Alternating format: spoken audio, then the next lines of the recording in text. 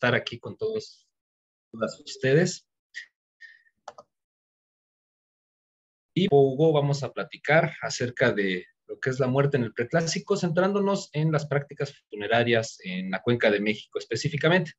Desde luego que hay muchos sitios que han sido explorados en la Cuenca de México. Nosotros nos vamos a centrar en algunos de ellos, no, no vamos a tratar de abarcar todos los sitios.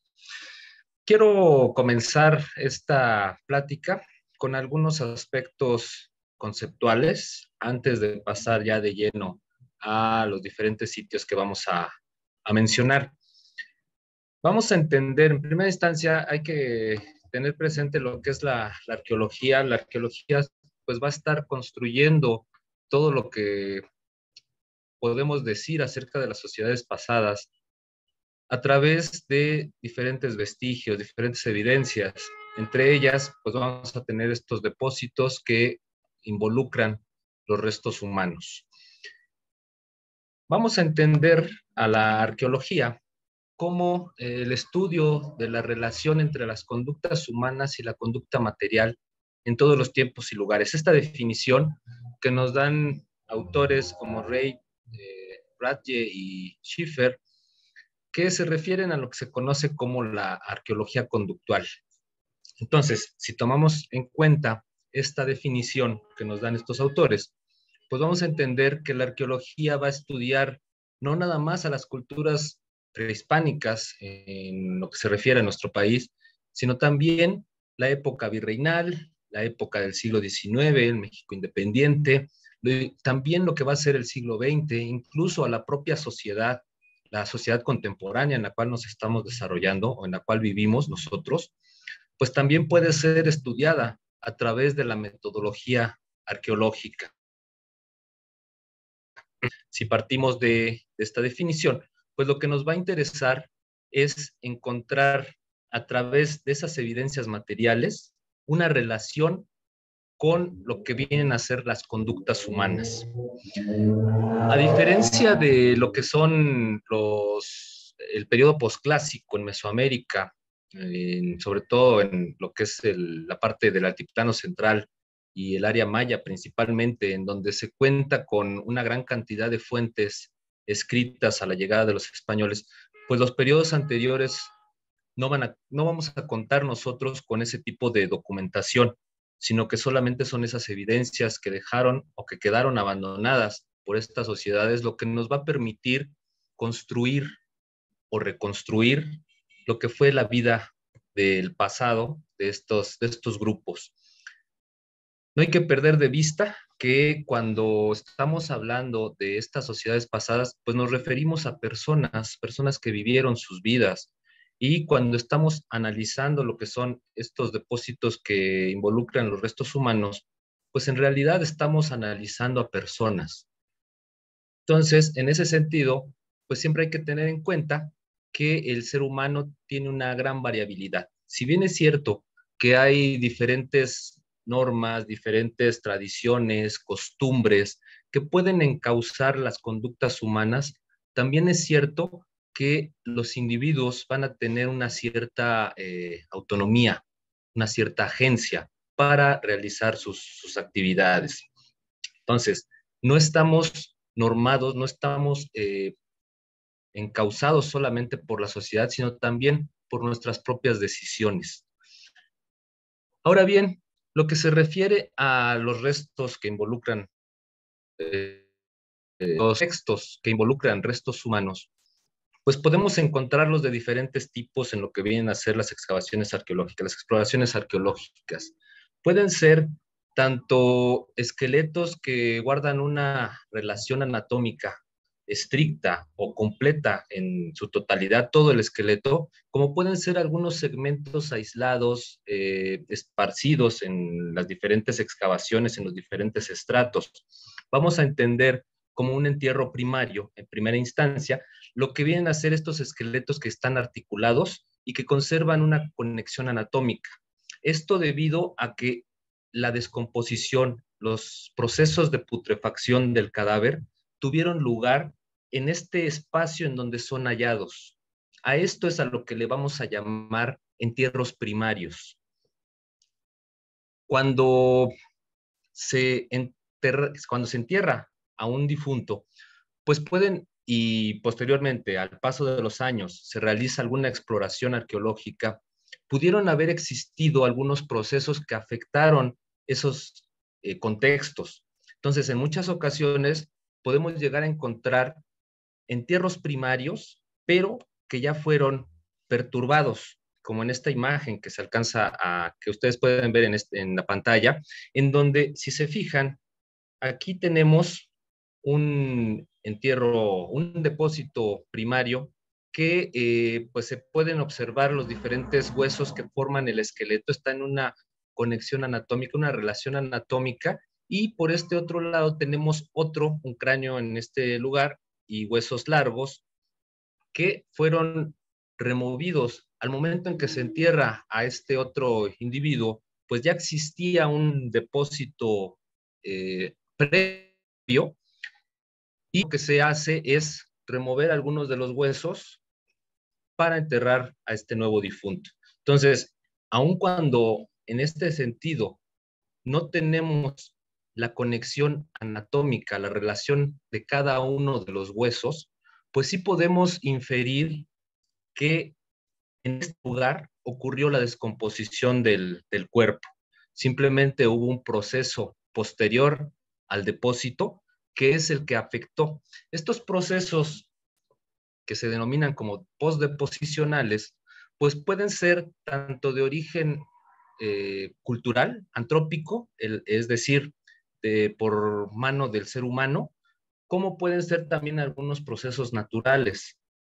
Por ejemplo, a la acción de, algunas, de algunos animales cuando van formando sus galerías, pues pueden afectar la disposición de los huesos en un momento dado o algunos, algunos movimientos de las, eh, de las capas eh, tectónicas, hundimientos del suelo, pues en un momento dado también podrían llegar a, afectar, pero no dejan de ser depósitos primarios en este, en este caso. Además de lo que vienen a ser los entierros primarios, pues vamos a reconocer lo que se denominan como, ah, bueno, otra cosa también, en términos de lo que son los depósitos primarios, puede haber tanto un individuo como más de un individuo y se consideran como múltiples, simultáneos, cuando tuvieron lugar en un espacio de tiempo muy cercano. Puede ser un solo evento o una diferencia de muy poco tiempo entre el depósito de cada uno de los individuos. También pudiera enfrentarse los contextos en donde hay una sucesión de tiempo eh, fue la que causó que se estuvieran enterrando a los muertos. Por ejemplo, eh, veíamos en algunas de las sesiones pasadas cuando se hablaba de lo que son las, las tumbas de Tiro, las tumbas en Oaxaca, por ejemplo, en donde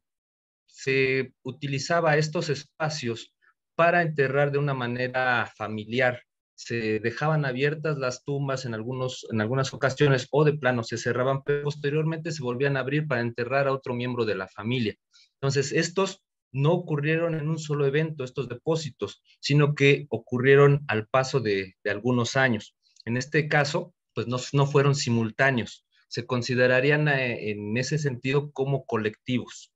Además de lo que van a ser los entierros primarios, pues vamos a reconocer lo que son los entierros secundarios. Estos son, se identifican a partir de que los restos óseos tuvieron su fase de descarnado en algún otro lugar que no es en donde están siendo encontrados. Esta fase de descarnado pues pudo haber sido tanto pasiva, si es que se enterró al difunto y posteriormente se hace una exhumación para sacar los huesos y depositarlos en este nuevo lugar, pues la descomposición, la putrefacción del cuerpo tuvo lugar en un espacio distinto a donde están siendo encontrados. O el descarnado también pudo haber sido eh, de manera activa. Cuando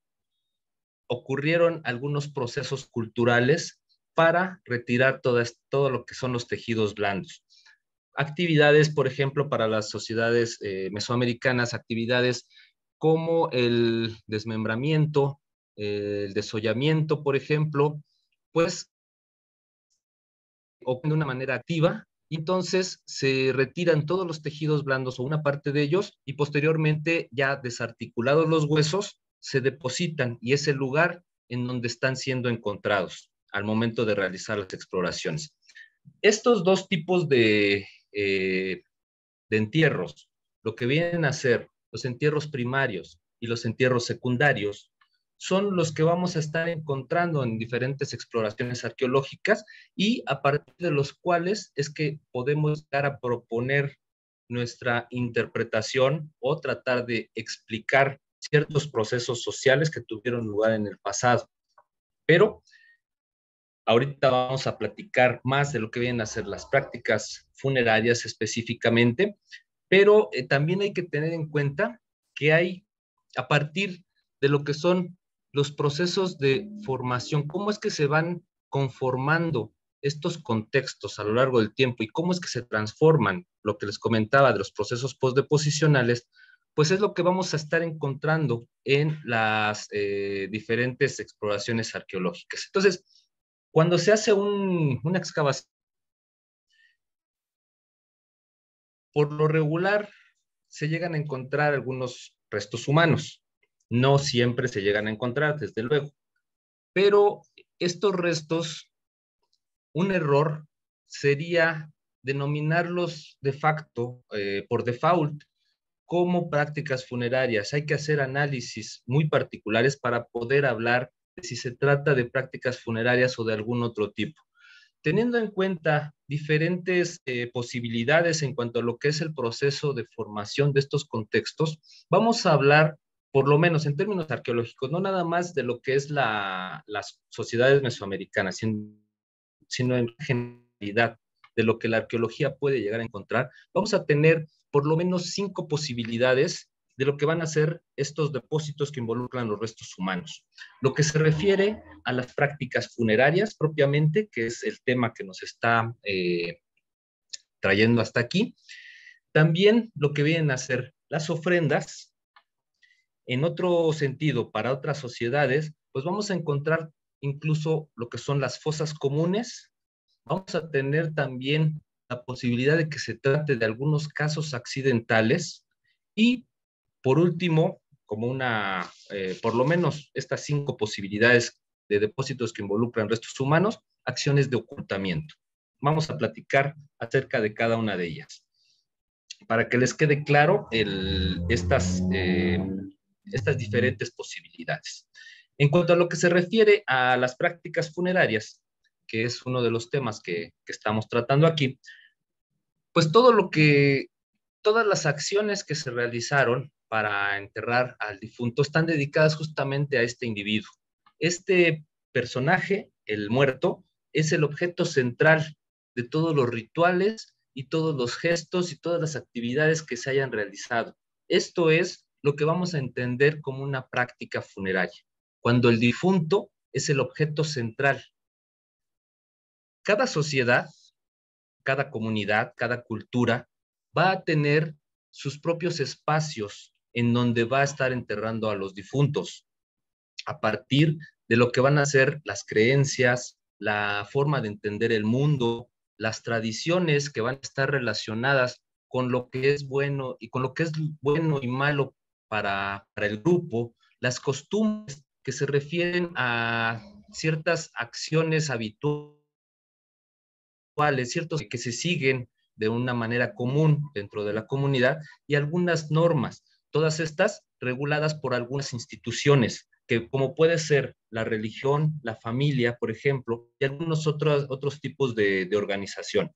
Entonces, pues cada sociedad, cada comunidad va a tener los propios espacios adecuados para enterrar a los muertos. Cada sociedad tiene que ser estudiada en un tiempo y en un espacio concreto, porque hay que tener en cuenta que la, cultura, como nos lo comentaba el maestro Eric eh, en la sesión anterior, pues la cultura es dinámica, la cultura se va transformando. Entonces, para poder analizar estos depósitos, pues tenemos que situarlo en un tiempo y en un espacio concreto. Es decir, hablar de un rango temporal y hablar de una región eh, geográfica o región cultural, pero específicas y particulares, ya que cada sociedad va a determinar cuál es el tratamiento adecuado para eh, enterrar a sus difuntos, así como los lugares eh, apropiados también, como pueden ser, si hablamos de, de sociedades mesoamericanas, del altiplano central, de los valles centrales de Oaxaca, del área maya, lo, que son las áreas habitacionales, pues son los espacios en donde se enterraba a los muertos, tanto al interior de las casas como en las inmediaciones de estas. Eh, para otras sociedades, para otras culturas, para otros tiempos también incluso, pues ya se van a formalizar lo que son los espacios específicamente funerarios. ¿Cómo podemos entenderlo como los cementerios, por decir algo? Eh, incluso en Mesoamérica, algunos grupos alguno, de algunas regiones, pues consideraban ciertos espacios específicamente funerarios, como por ejemplo podemos mencionar en las regiones de, de Colima, pues se construían lomas funerarias para enterrar a los muertos, pero no era propiamente en los espacios habitacionales. De ahí la necesidad de situarlo este estudio, este análisis que vamos a hacer de prácticas funerarias en un tiempo y en un espacio concreto. El tiempo, pues lo vamos a determinar ya sea por una asociación eh, cerámica, cuando tenemos la presencia de algunas vasijas o de algunos tiestos que nos puedan indicar la temporalidad, o de plano realizando algunos fechamientos eh, que se consideran como absolutos, como eh, específicamente el carbono 14, por ejemplo, para lo que es la, la, materia orgánica, o algunas otras técnicas que se desarrollan, por ejemplo, la termoluminiscencia para la, la cerámica, la dendrocronología para la madera, la hidratación de obsidiana para la obsidiana, desde luego, y algunos otros. Entonces, pues esa es la importancia de situarnos siempre en un espacio y lugar específico para poder analizar lo que está ocurriendo, cómo es que pudo haber sucedido estas conductas, cómo pudieron haber sido eh, desarrolladas estas conductas en el pasado. Dentro de estas posibilidades que habíamos mencionado, también vamos a tener lo que, de estas posibilidades que involucran los restos humanos, vamos a tener lo que se denominan como ofrendas. Algunos autores les llegan a llamar depósitos rituales. En estos, eh, en estos casos, el cuerpo humano no es el objeto central de todas las actividades, sino que forma parte de algo más grande, que no está dirigido a él, sino que está dirigido a las fuerzas sobrenaturales, a las deidades, se puede estar celebrando algún acontecimiento. Por, por ejemplo, cuando se viene a, en la época mesoamericana, cuando se realizaba alguna ampliación de un edificio, de un basamento, pues se realizaba también lo que era una, eh, una ofrenda, una donación hacia las divinidades para obtener un beneficio y se trataba de consagrar ese espacio, ese monumento o ese altar, eh, considerando que hay ciertos lugares dentro del, pensamiento eh, mesoamericano, que hay ciertos lugares que son como umbrales, que son espacios en donde se puede tener la comunicación con las deidades o con las fuerzas sobrenaturales, como le queramos llamar. Entonces, esta diferencia en cuanto si estamos encontrando, eh, la arqueología encuentra restos humanos, no necesariamente el individuo, el cadáver, este cuerpo que estamos encontrando, este cuerpo que fue enterrado en, en algún momento, no necesariamente es el objeto central del rito o de la actividad, sino que pudo haber sido simplemente una parte más de una actividad, en este caso, una ofrenda. Y el cuerpo humano forma parte de todos esos dones que se están entregando a las divinidades o a las fuerzas sobrenaturales. Eh, cuando se trata de, ofrendas, pues siempre eh, se trata de eh, establecer esa comunicación para obtener un beneficio, que puede ser un beneficio inmediato o puede ser un beneficio a largo plazo como puede ser el, cuando se, realizaban algunos pedimentos de lluvia, que era inmediato lo que se necesitaba, o bien para conseguir que el edificio que se estaba construyendo pues permaneciera a lo largo del tiempo y consagrarlo. A, muchas ocasiones pues se realizaba a través de una actividad eh, violenta que podía ser romper los objetos, los diferentes vasijas que se estuvieran ofrendando a la divinidad o incluso también lo que es el sacrificio, el sacrificio humano, la parte más preciosa, lo que es la vida humana con eh, el derramamiento de sangre. Entonces, a través de estas actividades, pues se buscaba esa comunicación. Otra de las posibilidades que podemos eh, mencionar acerca de estos eh, depósitos que involucran restos humanos van a ser lo que se refiere a las fosas comunes. Esto ya hablando de algunos periodos posteriores, no necesariamente en época mesoamericana lo estamos refiriendo, pero como les decía, si partimos de la definición que estamos tomando en cuenta, en donde la arqueología pues puede estudiar todo tiempo y todo lugar, pues también podemos llegar a encontrar este tipo de, depósitos, en donde a partir de un, evento, eh, de un momento de crisis, en donde tuvo lugar una, gran mortandad de individuos, ya sea por masacres, por guerras, por epidemias, se ve necesaria eh, enterrar a los muertos en muchas ocasiones sin que exista una identificación de los individuos, sin que existan unos ritos apropiados, una manera eh, adecuada para enterrarlos, simplemente es tratar de eh, solucionar esta situación. Entonces, también se pudiera tratar en un momento dado arqueológicamente de este tipo de, espacios. Otra de las posibilidades que podemos considerar en este tipo de depósitos, pues van a referirse a casos que no se buscaba que enterrara un muerto. Puede ser, por ejemplo, esto que denominan los autores Bulletin Day como un cadáver, pero ocurrido una, una catástrofe, pudo haber ocurrido un, eh, un desplome, un derrumbamiento, el derrumbe de, alguna casa y alguien quedó ahí eh, atrapado, ahí murió, y lo que arqueológicamente pudiéramos estar encontrando en realidad no se trata de una práctica funeraria, sino que se trataría de, este, de esta denominación que utilizan estos autores como un cadáver perdido, un caso accidental, o que no fue la intención enterrar al muerto, ni, ni se realizó, ni se realizaron todas las actividades para conmemorar al difunto, ni el difunto forma parte de algo más grande, de algo más, como una ofrenda sino que simplemente pudo haber eh, ocurrido, por ejemplo, otra posibilidad. Alguien eh, se hubiera ahogado en un río, al paso del tiempo ese río se seca, se va sedimentando, se va eh, cubriendo de, de tierra y la arqueología puede llegar a encontrarlos. Entonces, estos casos hay que tenerlos también presentes cuando se está analizando lo que es los depósitos que involucran los restos humanos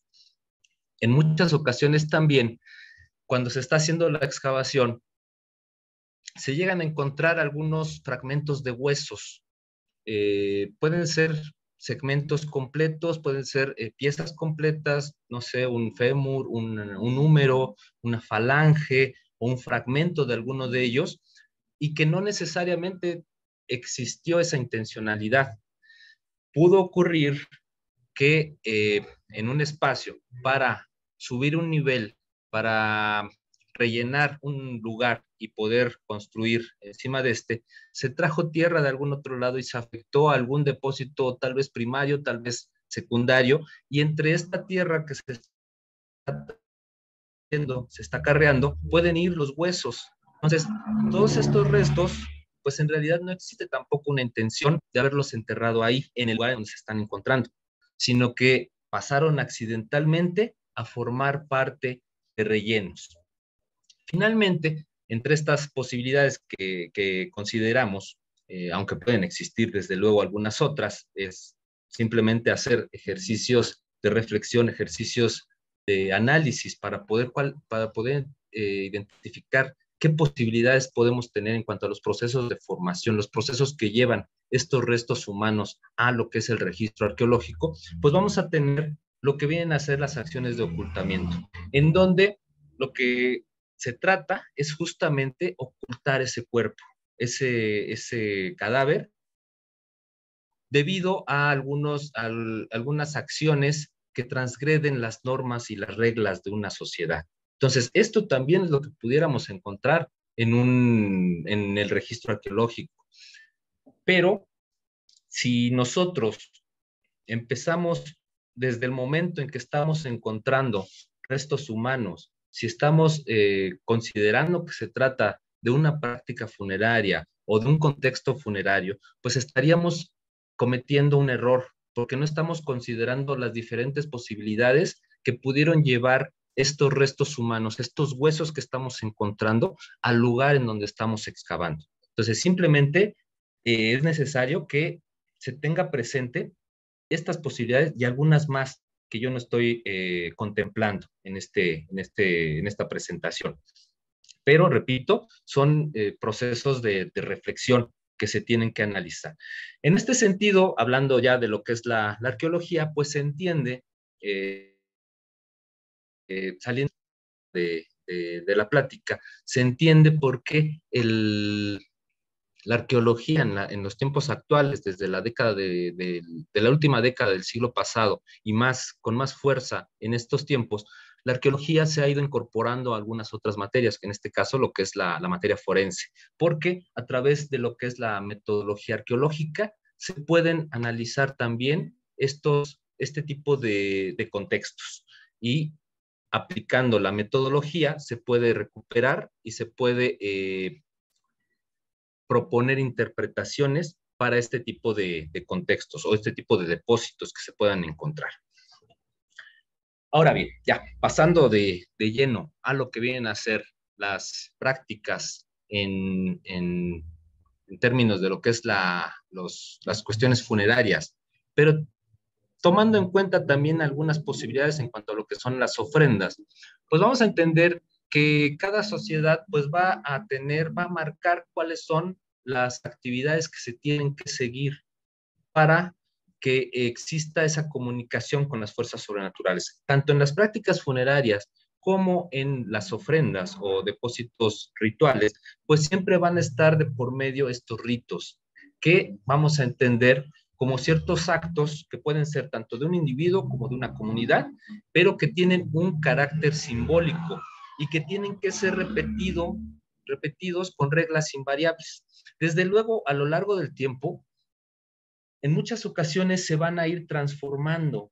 pero, eh, por ejemplo, si tenemos, eh, si consideramos que en el pasado pudo haber pudo haberse utilizado un líquido de color negro, por decir algo, en la actualidad, cuando ya no se tenga esa posibilidad, se puede sustituir por una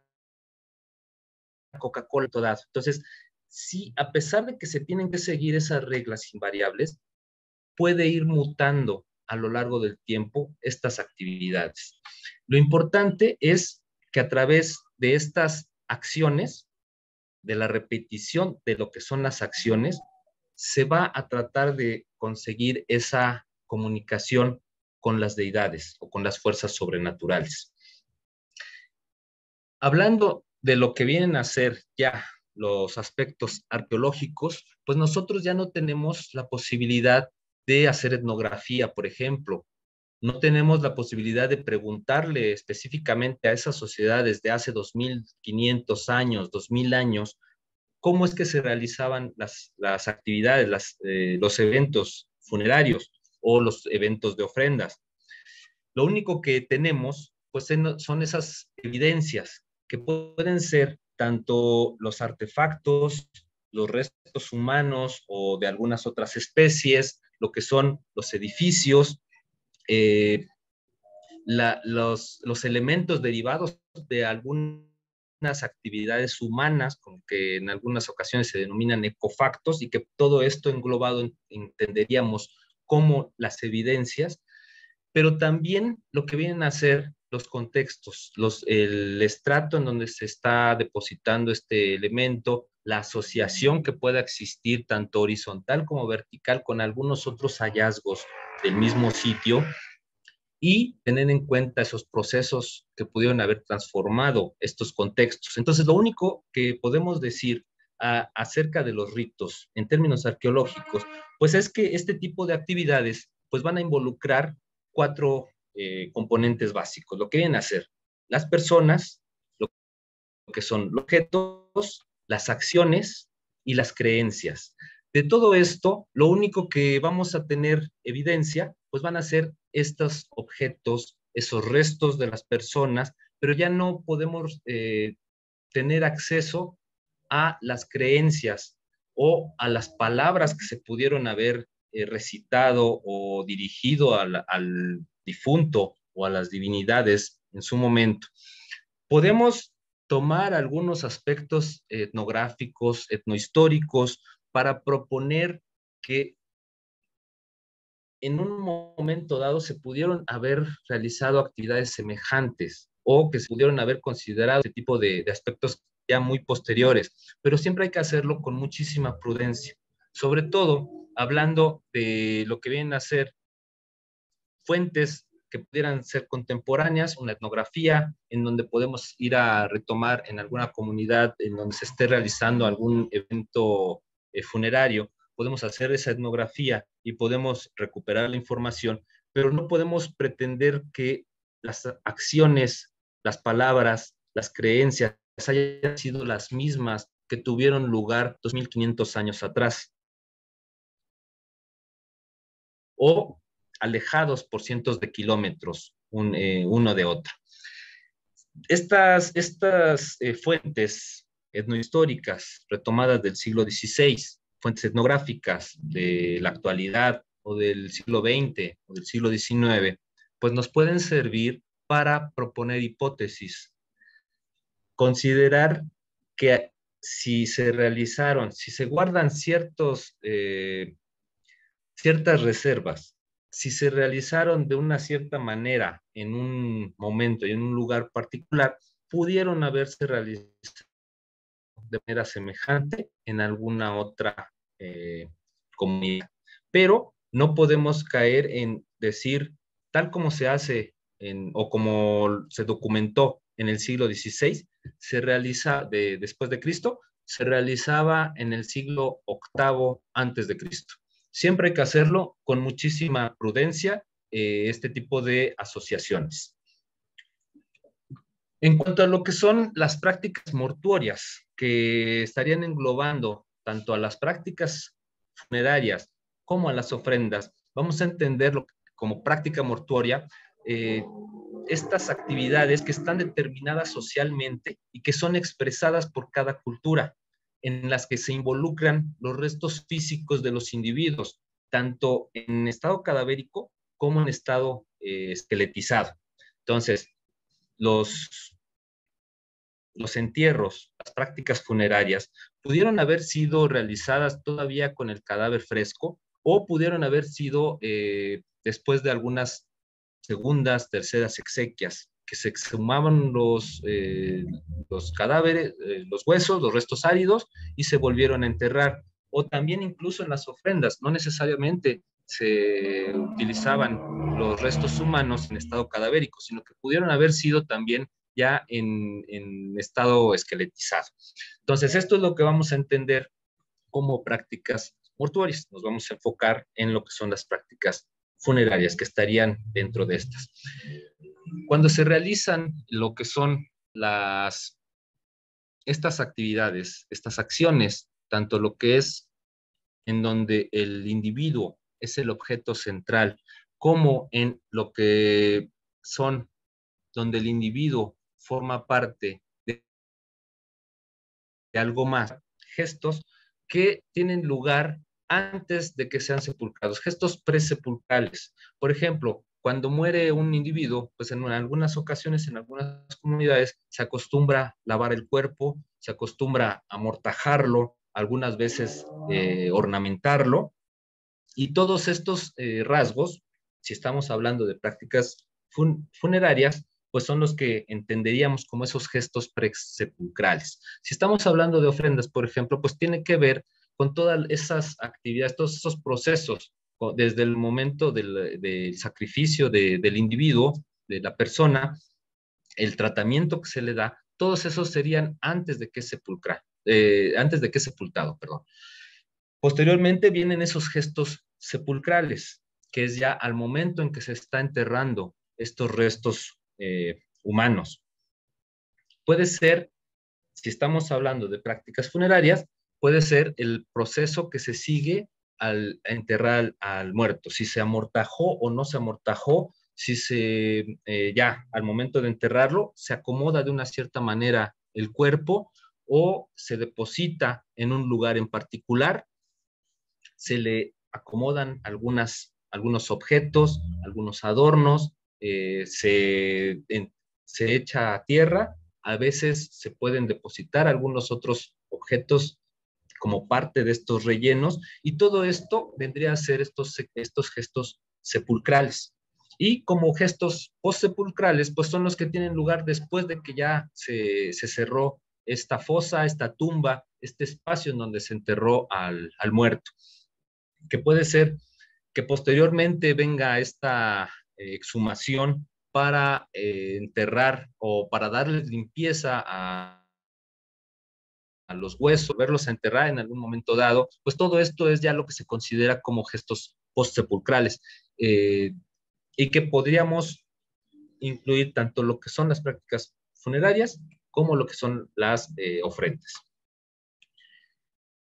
Ahora bien,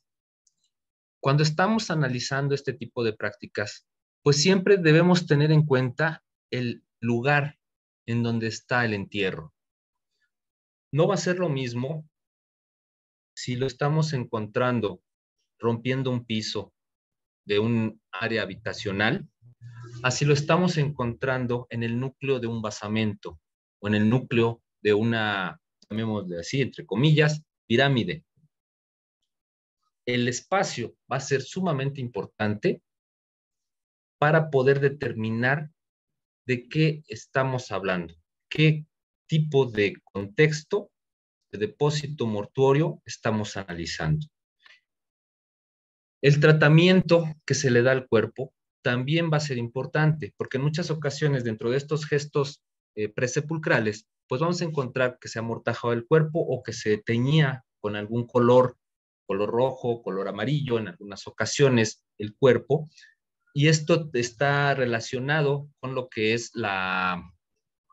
la cosmovisión, las costumbres de una sociedad, de una comunidad. El acomodo también hay que tenerlo en cuenta, si está flexionado, si está eh, extendido, si está boca abajo, boca arriba,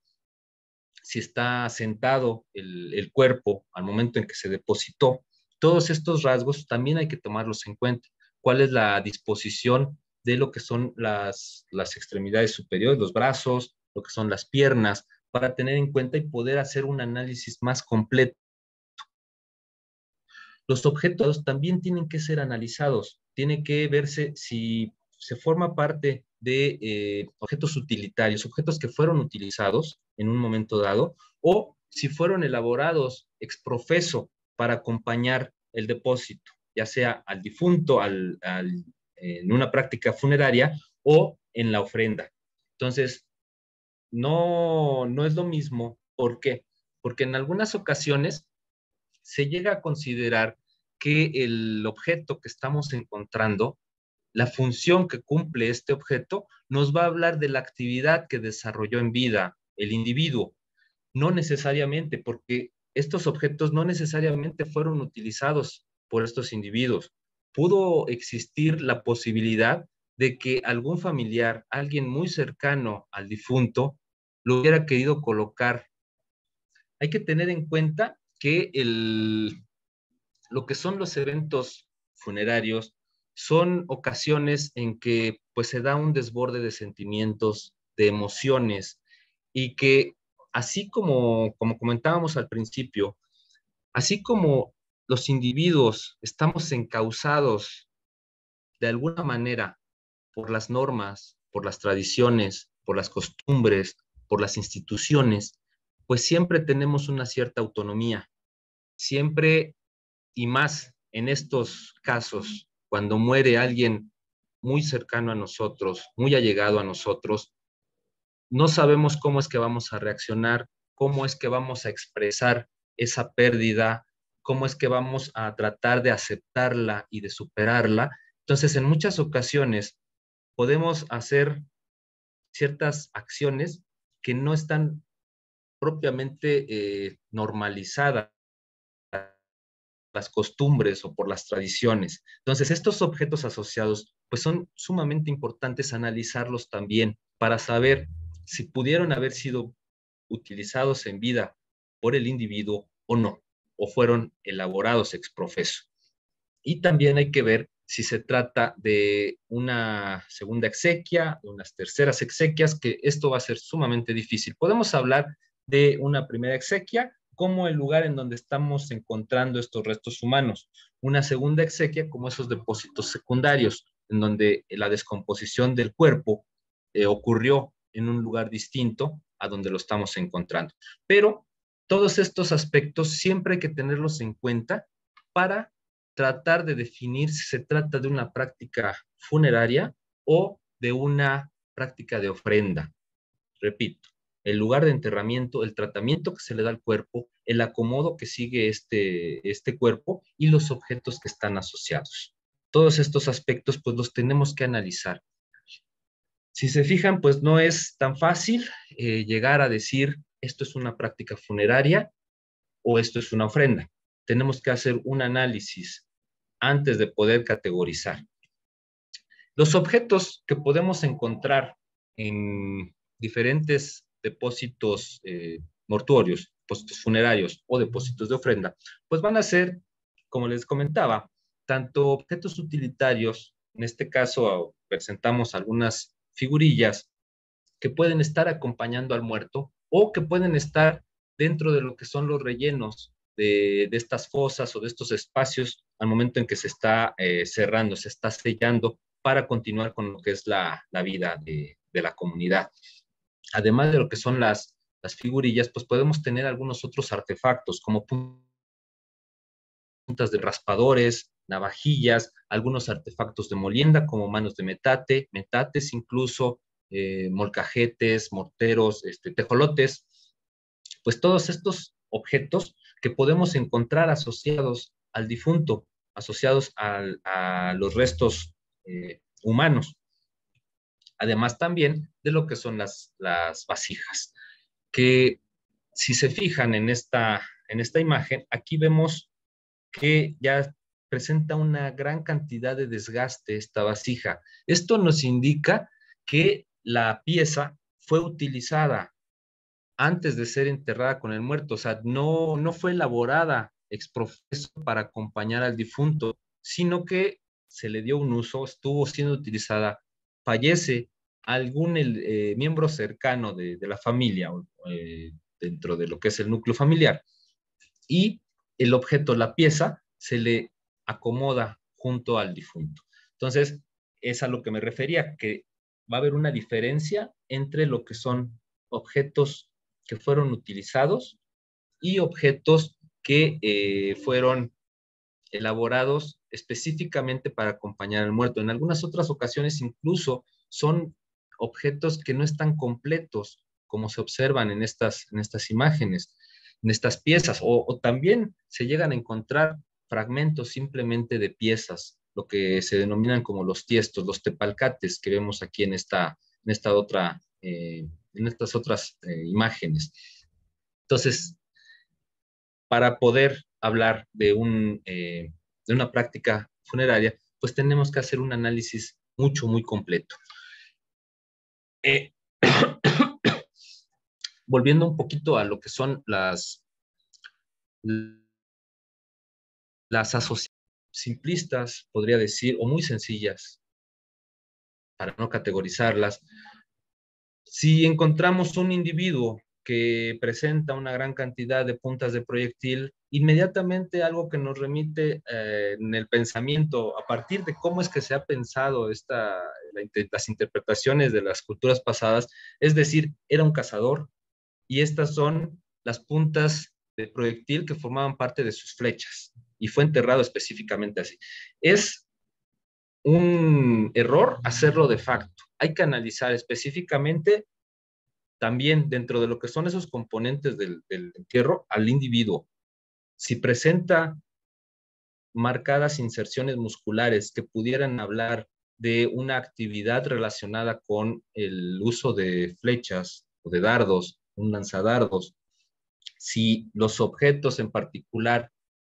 muestran un uso o si fueron elaborados ex, profeso, pues ya estaríamos teniendo una diferencia. Si muestran un uso, podemos llegar a decir que, el individuo las pudo ocupar, pero si en realidad no muestran huellas de uso, pues los artefactos fueron elaborados para acompañar al muerto. Y como les decía, en este tipo de, eventos, pues las emociones, los sentimientos que se desbordan por parte de la gente que tenía un lazo afectivo muy cercano con el difunto, pues pueden llevar a entregarle objetos que fueran propios y no necesariamente del difunto. Entonces, son aspectos que hay que tener en cuenta, que no, que no debemos caer en interpretaciones rápidas de lo que son los depósitos que involucran los restos humanos, sino que tenemos que tomar en cuenta en primera instancia, aquí para, para resumir todo esto que estoy mencionando. En primera instancia, tenemos que tomar en cuenta a la sociedad que estamos analizando,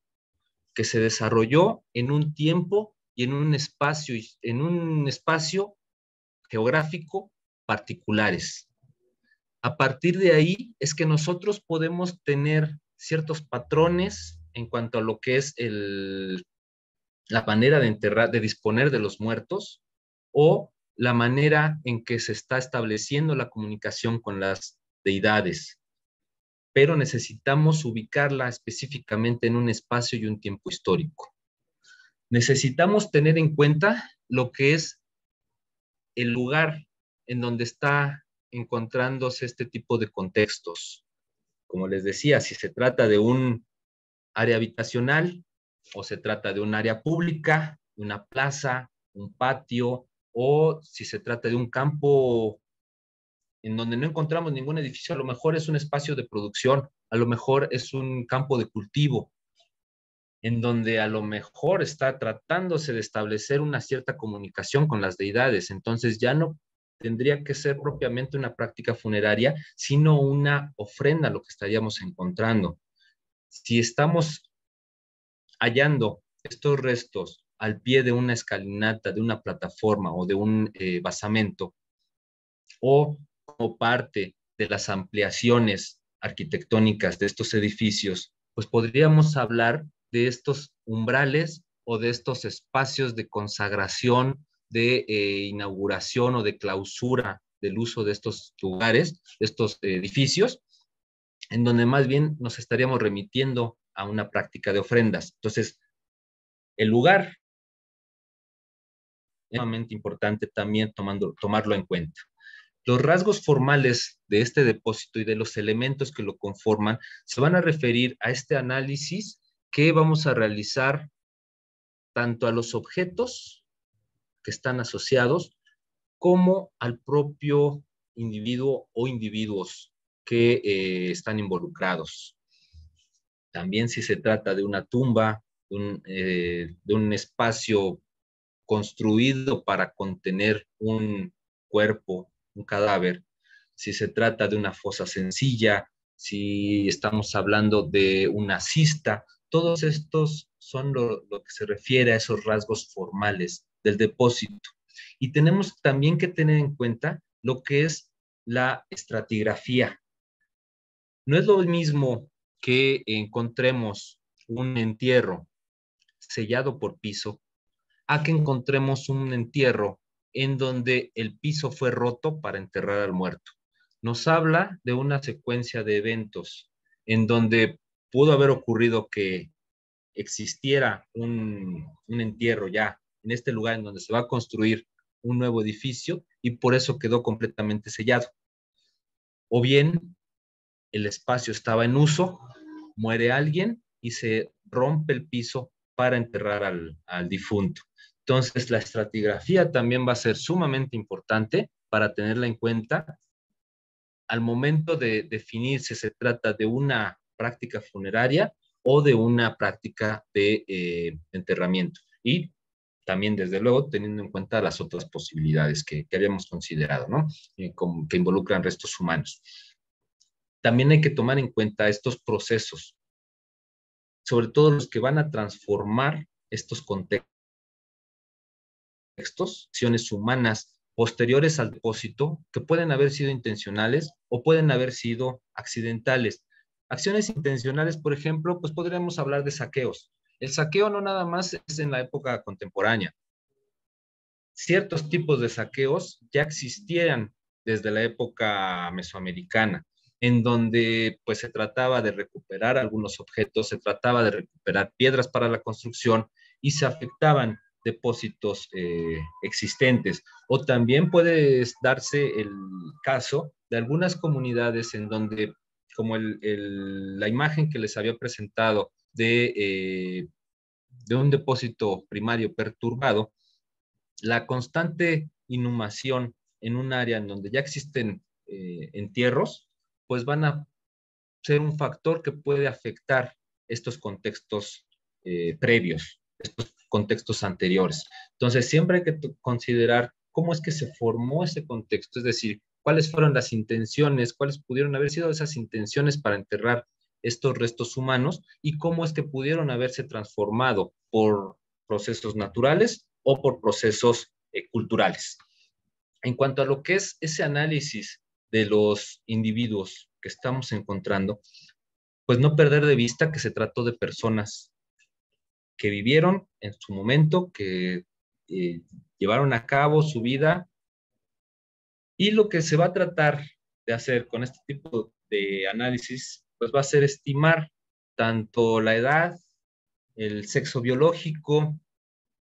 algunas otras características como eh, la estatura, identificar algunas lesiones óseas que puedan estar presentes en los huesos y que nos puedan aportar muchísima información tanto acerca de estos individuos, de la, poder construir lo que es una osteobiografía de estos individuos, pero también nos pueden señalar aspectos que, que, nos hablarían de lo que es la, la, propia sociedad en donde vivieron, en donde se desarrollaron estos individuos. Si encontramos algunas deficiencias nutricionales en un individuo y después analizamos los de otro, eh, de otro contexto, de otro depósito, de, la misma, eh, del mismo sitio y contemporáneo a él, coetáneo a él, pues podemos, y, se sigue repitiendo esta, estos patrones de deficiencias nutricionales, pues podemos llegar a proponer que existía un acceso diferencial en cuanto a lo que es los recursos alimenticios en un momento dado. Pero en primera instancia, lo que tenemos que identificar, tratar de identificar es al propio individuo que se está analizando, tanto en términos de edad, sexo y algunas lesiones óseas que nos pudieran hablar de estas eh, condiciones de vida que tuvieron en el pasado, pero también de algunas actividades que se pudieron haber, eh, a las que se pudieron haber eh, dedicado y que pudieron dejar una impronta, una huella en los huesos, pues eso es lo importante, porque no nada más vamos a hablar de sociedades, sino que podemos también hablar de individuos en un momento dado, y esto es a partir de lo que son esos restos restos óseos o restos eh, cadavéricos en algún momento dado, restos momificados para algunas sociedades. Entonces, ese análisis osteológico pues se tiene que realizar teniendo en cuenta todos estos aspectos anteriores que se mencionaron, tanto la sociedad en donde vivió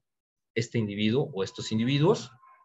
cuáles fueron las contingencias históricas,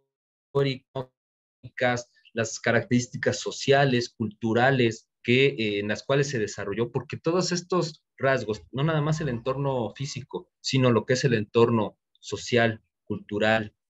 van a dejar una huella en lo que es el hueso, en, una impronta, van a ir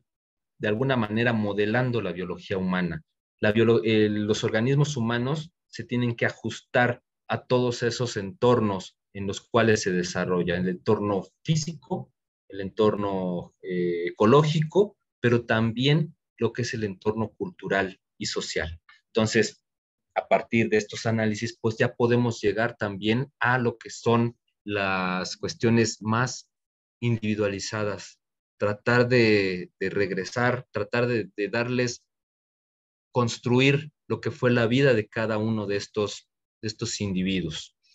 Y como parte de lo que es el análisis osteológico, pues vamos a tener en cuenta un análisis tafonómico en donde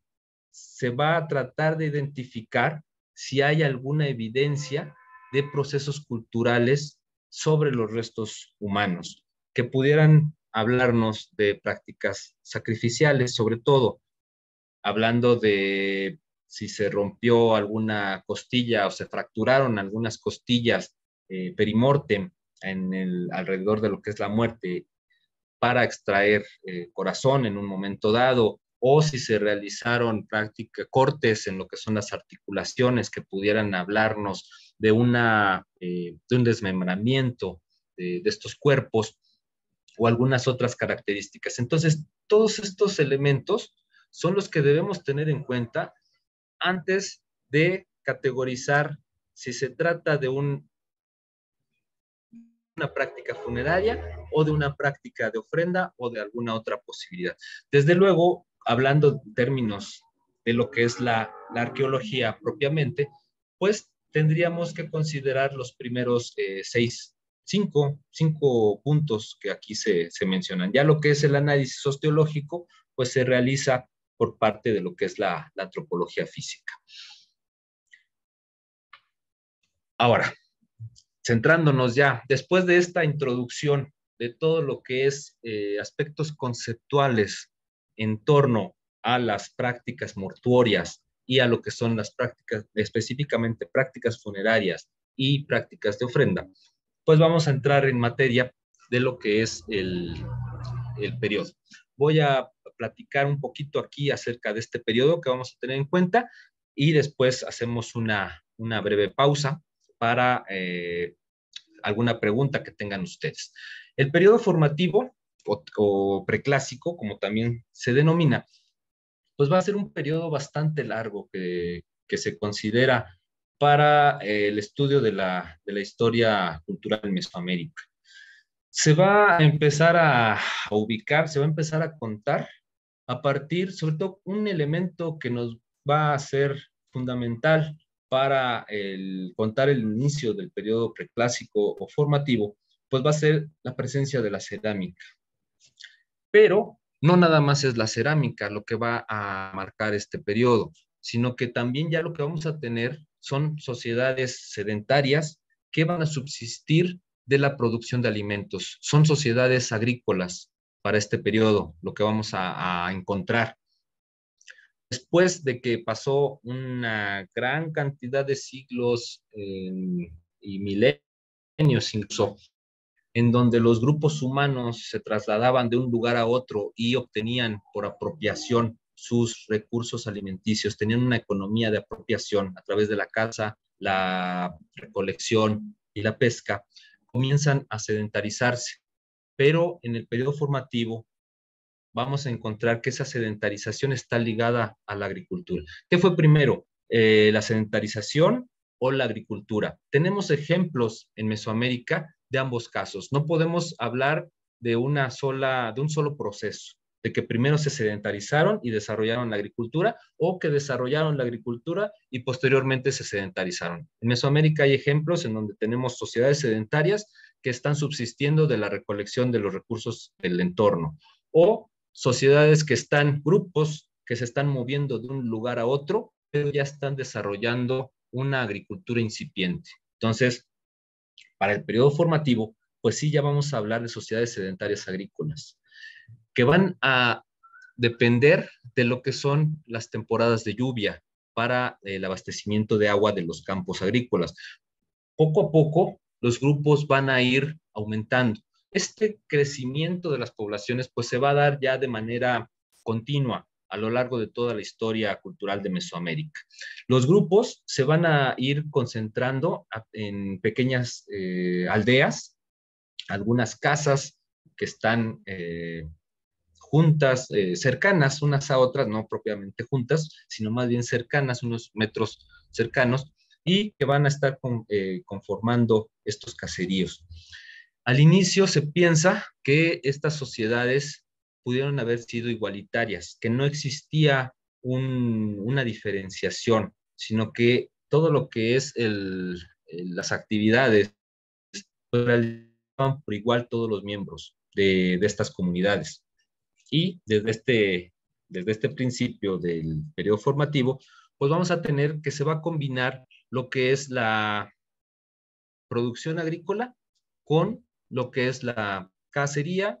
y la recolección, tanto de especies vegetales como de especies animales, en algunos casos, moluscos eh, y también lo que es la, la, pesca en los lugares en donde se cuenta con esos cuerpos de agua.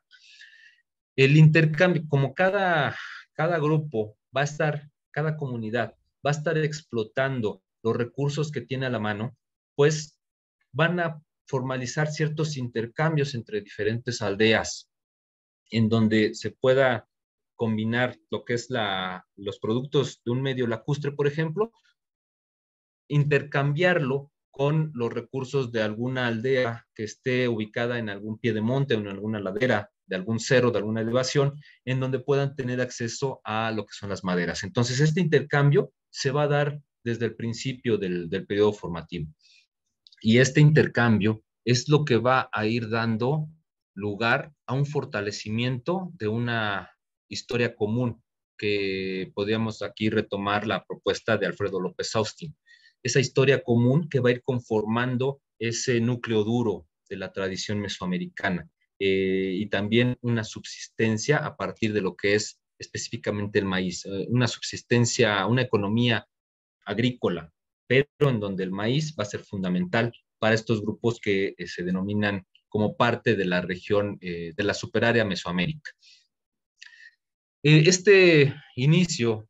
pues, se denomina como el periodo formativo o preclásico temprano y pues se cuenta más o menos desde 2500 antes de Cristo, aunque hay regiones mesoamericanas en donde la cerámica no se desarrolló sino hasta muchísimos años después. Por ejemplo, en la cuenca de México, pues la cerámica más temprana que se conoce es de 1450 antes de Cristo, la denominada fase nevada en, en Tlapacoya, en el sitio de Soapilco, Tlapacoya. No tenemos una cerámica más temprana, aunque hay una figurilla por ahí eh, de la fase playa de Tlapacoya también, que eh, es una figurilla eh, humana muy, muy esquemática, muy, muy simple en términos de lo que son los rasgos, pero no tenemos vasijas para, para épocas anteriores a 1450, de acuerdo con los fechamientos de Christine Niederberger. Posteriormente, este, se van a ir dando una serie de cambios. Bueno,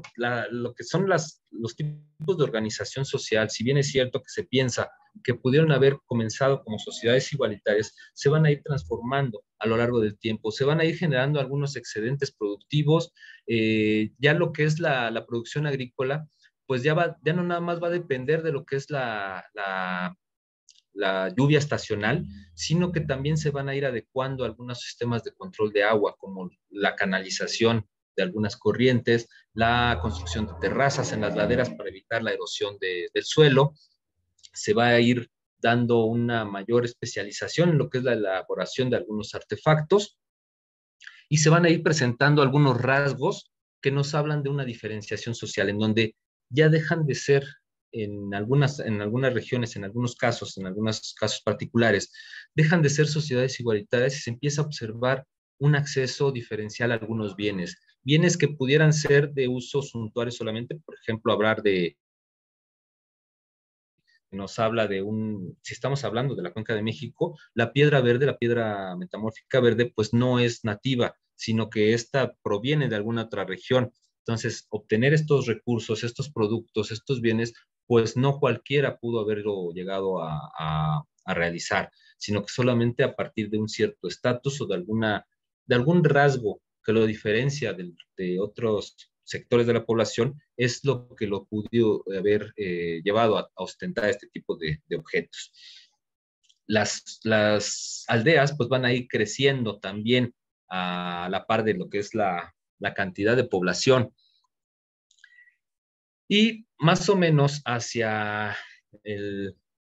700, 400 antes de Cristo, pues se van a empezar a construir algunas plazas y algunos basamentos, algunos templos que tienen un carácter ceremonial. Y ya para lo que es la parte final del periodo preclásico o formativo, pues ya lo vamos a tener una, un mayor, una mayor cantidad de sitios que se puede, asentamientos que se pueden identificar como jerarquizados a partir de sus rasgos arquitectónicos, eh, a partir de la eh, cantidad de casas que puedan estar asociadas y se puede llegar a hablar de algunos centros regionales, como en la Cuenca de México, pues uno de los principales va a ser Cuicuilco, aunque no va a ser el único, también tenemos algunos otros que se consideran como centros regionales, como viene a ser eh,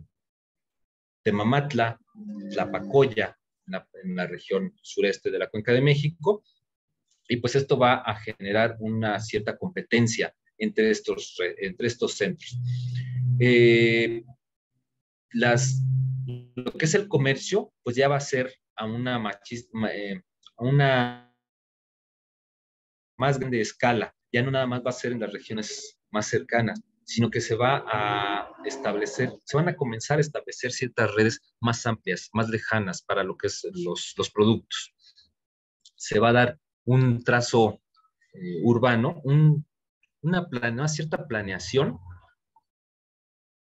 que se va a formalizar conforme avancen los, eh, los años, ya en lo que viene a ser el periodo clásico, pues ahí lo vamos a tener ya netamente esa planeación y ese trazo urbano. Pero hacia lo que es el formativo tardío, que 400 y 200, 400 antes de Cristo y 250 después de Cristo, pues ya vamos a tener las primeras expresiones de arquitectura monumental. Esto en términos generales para que nos podamos situar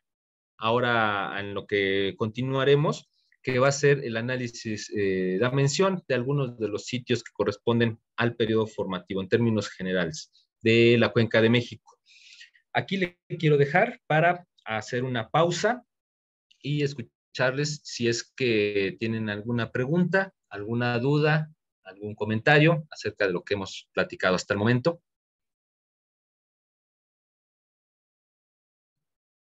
Pues gracias Alejandro por esta primera parte. Eh, así que adelante, pues si alguien quiere hacer preguntas, eh, pues con el micrófono, el chat, adelante, tenemos unos minutos.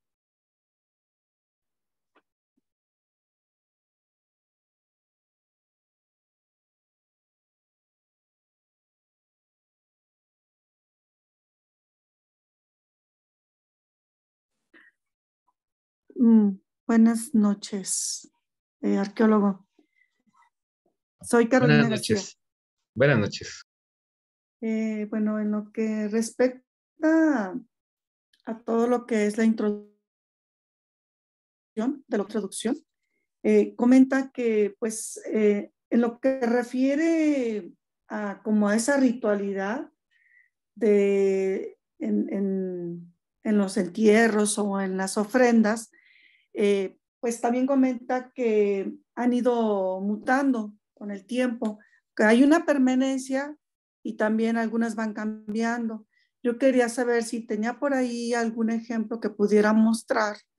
de ese cambio de, lo que permanece y de lo que, eh, o ese ligero cambio que, se, que pueden ustedes detectar en algunos entierros o en las ofrendas en este caso. Sí, gracias Carolina. Mira, más adelante vamos a platicar de algunos, algunas, eh, algunos rasgos que fueron transformándose a lo largo del tiempo, ya cuando pasemos a analizar, o bueno, a revisar algunos de los sitios. Ahí vamos a mencionar, no tanto en cuanto a lo que son las ofrendas, las ofrendas, no existe un patrón en términos de cantidad de objetos, en términos de cuáles son los objetos que se están encontrando, pero sí en cuanto a lo, sobre todo en cuanto a lo que son las, los acomodos de los cuerpos, pero lo vamos a platicar más adelante. Ah, correcto, o sea que va a ser, sí va a ser notorio, lo va a mostrar y va a ser notorio esos cambios. Ah, muchas gracias, arqueólogo. Por nada, Carolina.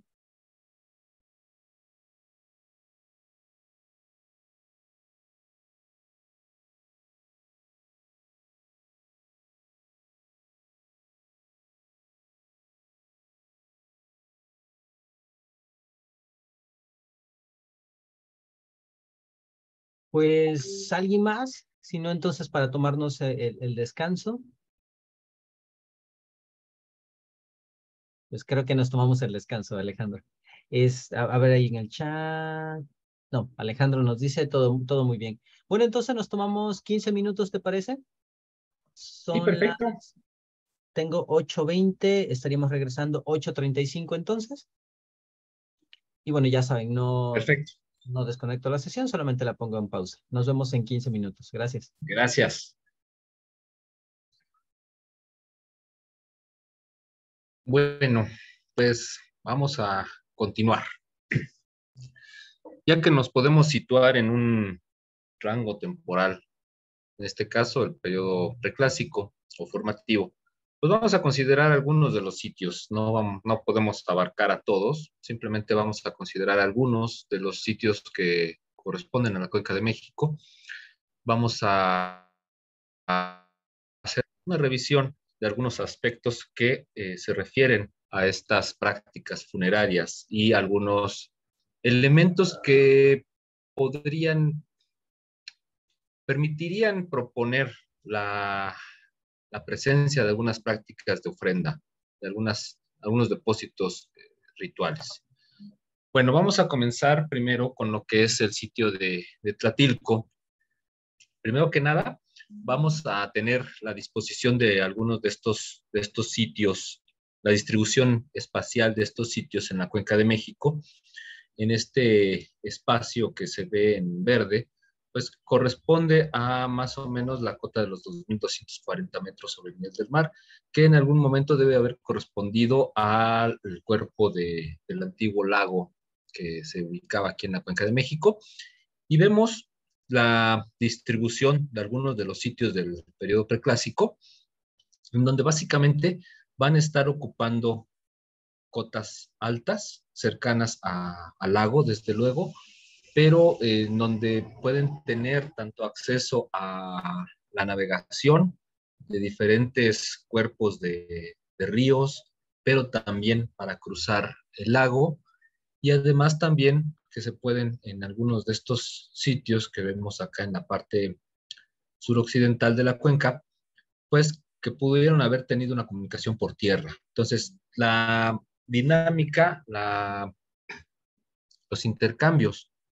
tanto comerciales como ideológicos en el preclásico, pues debieron haberse dado tanto por la navegación del, del lago como a través de tierra firme entre todos estos sitios. Hay que tener en cuenta también que estamos hablando de un área que está completamente urbanizada en la actualidad, muchos de los sitios que pudieron haber existido probablemente están todavía enterrados debajo de, las planchas de concreto en nuestra ciudad y las áreas eh, conurbadas. Entonces, esto es lo que se sabe de algunos de ellos y también solamente son informaciones parciales. No se han podido explorar completamente ninguno de estos sitios por las mismas condiciones, por la mancha urbana. Es a través de en la actualidad es a través de proyectos de salvamento que se puede llegar a, conocer estos sitios o algunos más que no se tienen conocimiento, pero también a principios del siglo XX fue cuando se comenzaron a explorar unos de ellos. Es importante que pues tengamos presente la distribución y las condiciones del entorno para poder darnos cuenta de cómo es que pudo haberse ido dando ese surgimiento de ese núcleo duro de la tradición mesoamericana aquí en la cuenca de México, pero en el resto de, Mesoamérica, no nada más. Esto es un ejemplo simplemente. Mesoamérica es una superárea muchísimo más extensa, pero estamos particularizando en lo que es la cuenca de México y específicamente la parte sur de la cuenca de México. Se puede apreciar que hay una tendencia en el periodo preclásico de la ocupación de las zonas occidental sur y occidentales de la cuenca de México, no tanto hacia el norte, no tanto hacia el valle de Teotihuacán. Eh, la ocupación en esta otra parte, el, norte de la cuenca de México, va a ocurrir muchísimo más tarde. Tenemos evidencias, por ejemplo, de Tatilco hacia 1300 antes de Cristo, que es la más temprana que se conoce en términos agrícolas, en términos de series esqueléticas que se puedan analizar de depósitos mortuorios. Y para lo que es el Valle de Teotihuacán, pues ya vendrían a ser como del 400 antes de Cristo, los más, los más tempranos. Entonces, de acuerdo a Mari Carmen Serra y Carlos Lascano, pues sí se aprecia una tendencia. Quienes retoman a su vez los trabajos de William Sanders, eh, Jeffrey Parsons y Robert eh, Blanton, una tendencia de la ocupación de las zonas sur y occidental de la cuenca de México. Entonces, por eso nos vamos a enfocar en esta, en esta parte. Además de que geográficamente se forman subunidades dentro de la propia cuenca a partir de las cadenas montañosas, a partir de lo que es hacia el norte, la, la, Sierra de Guadalupe, pues podríamos ubicar esto, esta, esta imagen que vemos aquí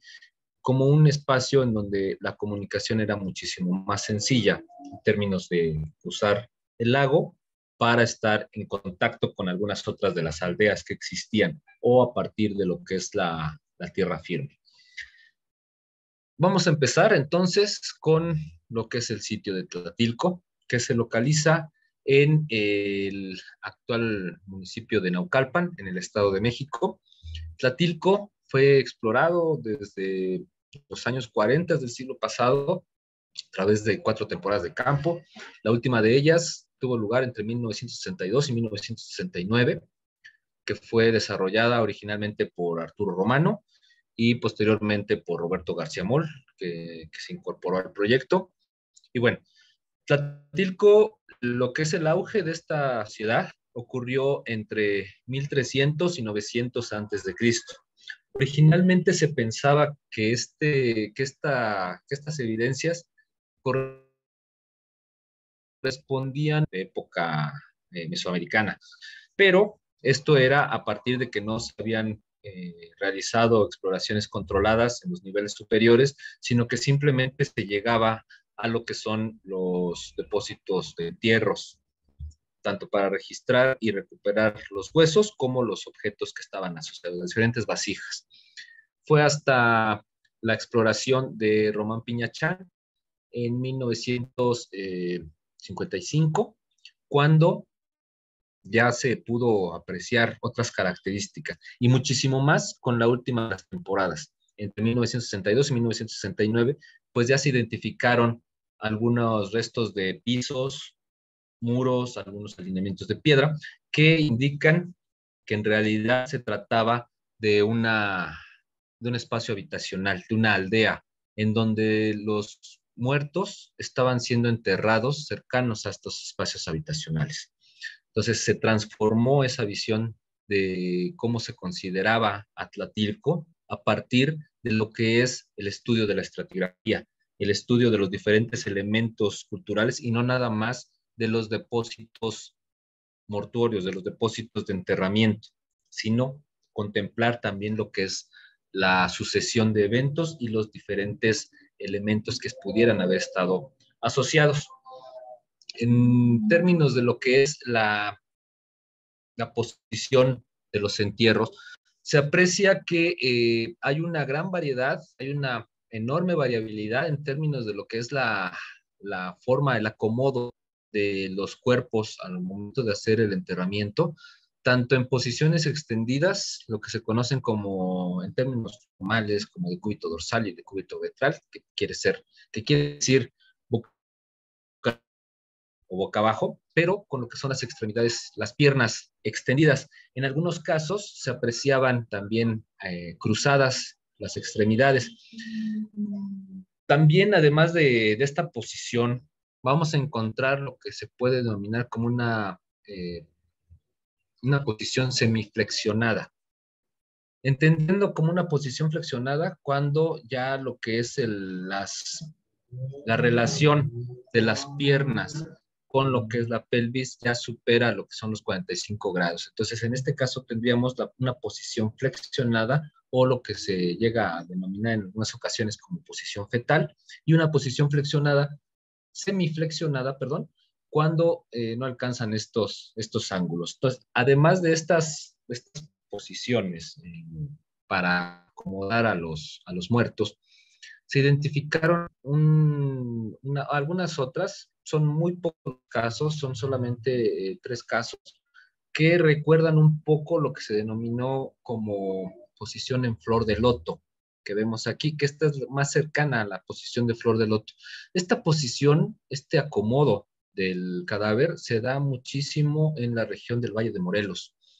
Ahí es donde más está representada para este periodo esta, este acomodo del cadáver. En Tlatilco son solamente unos cuantos casos los que presentan, los individuos que presentan esta, esta disposición. También se apreció que, en términos generales, una costumbre de enterrar objetos asociados a los muertos. Aquí en estos dibujos de, Arturo Romano vemos algunos de estos objetos en estas, en estas láminas no todos los individuos presentaban objetos, pero sí algunos, había una gran variabilidad. Podían ir desde un solo objeto hasta 22 objetos, contando vasijas, contando eh, lo que vienen a ser puntas de proyectil, algunos otros artefactos,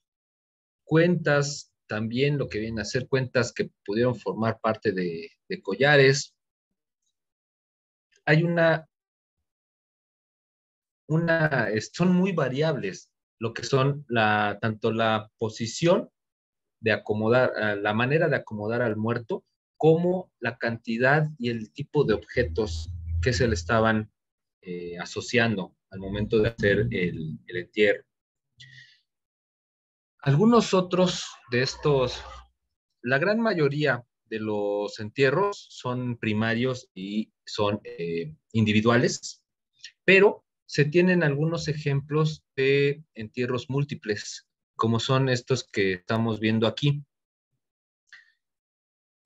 ¿Qué hay que considerar en un entierro múltiple simultáneo, sobre todo? Ya lo que habíamos platicado, que es el, eh, estaríamos hablando de un solo evento. ¿Qué hay que considerar? Que pudo haber ocurrido la muerte de más de, un, de dos o más individuos al mismo tiempo y que pudieron haber sido enterrados puede haber sido una, epidemia, puede haber sido una muerte violenta por parte de estos, eh, para estos individuos, pero el caso es que fueron enterrados al mismo tiempo, en un solo evento. Considero que la disposición, la manera en que están acomodando a los difuntos en este tipo de depósitos múltiples pueden llevar una carga simbólica, pueden estar remitiendo a elementos que no han sido identificados propiamente porque no se ha hecho un análisis para depósitos, en donde tanto el número de, individuos como lo que es la disposición de los mismos pueden estar llevando eh, una carga simbólica que, que estaría remitiéndonos más bien a una práctica de ofrenda. sería necesario realizar, reanalizar lo que son los restos óseos para tratar de identificar si existen algunas evidencias de procesos culturales que pudieran estar relacionados con sacrificio, sacrificio humano. Pero el simple hecho del acomodo que guardan, si vamos a ver algunos otros casos, algunos otros casos de sitios en donde los depósitos múltiples también se nota un acomodo muy particular. A mí en lo, personal me estaría dando una, la posibilidad de que se te ofrendas. Si bien es cierto que pudiéramos identificar algunas lesiones que, que estarían relacionadas con la práctica de sacrificio, también hay que considerar que hay otro tipo de sacrificios que no dejaron necesariamente o que no habrían dejado necesariamente huellas sobre los huesos. Si estamos hablando de un degollamiento en donde solamente se cortan lo que son las... Eh, eh, la yugular, por ejemplo, pues no va a dejar una marca en el, en el hueso. Si hablamos de un, eh, de, un ahogamiento, muerte por ahogamiento, pues no necesariamente va a quedar una impronta en el hueso. Entonces, creo que tanto el número de individuos, en este caso tenemos tres Acá tenemos, eh, son dos, cuatro, son cinco. Los números para las sociedades mesoamericanas tenían una gran importancia. Entonces, creo que una línea de investigación tendría que ser analizar este tipo de depósitos múltiples para, considerando tanto la, el acomodo de los, de los cuerpos como la cantidad de individuos, para poder determinar si pudo haberse tratado de una práctica ritual o se está tratando de una práctica funeraria. Por ejemplo, este otro, esta otra imagen en donde solamente tenemos dos individuos, pues el, este que está marcado como 176, aquí está el cráneo, todo lo que es la, la columna vertebral, las, las costillas, y el, el 175 tiene el cráneo desprendido. Acá tendríamos la, la columna vertebral, las costillas y lo que son lo, los brazos, los tendríamos aquí. Si, si hubiera sido, a mi modo de ver, si hubiera sido una perturbación de un depósito previo, es decir, que el 176 hubiera sido lo que causó la perturbación del 175, creo que habría existido una mayor modificación en términos de lo que es la disposición de estos huesos. Y la forma en cómo se colocó este cráneo a mí me llama a que haya alguna intencionalidad simbólica o ideológica para esta como. Entonces, además de lo que son los entierros eh, eh, individuales, estos entierros múltiples que no son tan frecuentes para el periodo formativo, pues a mí me estaría llamando la atención como para poderlos identificar con lo que son la práctica de ofrendas. Además de este tipo de, de depósito, han identificado para Tlatilco lo que son huellas de, cortes en articulaciones de algunos de los individuos que nos hablan de desmembramiento. Además de, algunos mencionan probables prácticas de antropofagia, y por lo menos uno de los individuos fue identificado como decapitado, de acuerdo con lo que menciona eh, María Elena Salas en uno de sus, de sus trabajos. Entonces, si ya tenemos estas huellas, estas evidencias desde épocas tempranas, más o menos 1300 a 900 antes de Cristo, los depósitos múltiples creo que tendrían que ser analizados en, a ese aspecto, en ese aspecto. Además, también se podrían eh, practicar algunos análisis de ADN como para poder determinar si se trata, si están emparentados consanguíneamente los individuos, también realizar algunos análisis de isótopos de estroncio, de oxígeno y de, de, nitrógeno para poder saber si los individuos provienen de alguna otra región o son nativos de, de esta zona. Eh, el trabajo de Platilco se ha analizado recientemente, en un servidor, eh, realicé lo que es un análisis de lo que es la distribución espacial. Si ya tenemos en cuenta esa variabilidad de lo que son las posiciones en que fueron enterrados los muertos, si se trata de, de entierros primarios, secundarios, si se trata de entierros individuales o múltiples, a partir de un análisis de distribución espacial, pues se observa que en realidad en toda la, todo el espacio explorado, pues los depósitos están dispersos en términos de que no se están concentrando con ciertas características en espacios particulares. Sí vemos una cierta concentración de entierros, pero si se fijan, los, por ejemplo, lo que se considera como dosal extendido, pues están distribuidos por todo el espacio que fue explorado. Entonces, no podemos asociar a partir de estos análisis, no podemos asociar que una cierta área haya sido utilizada para eh, algún,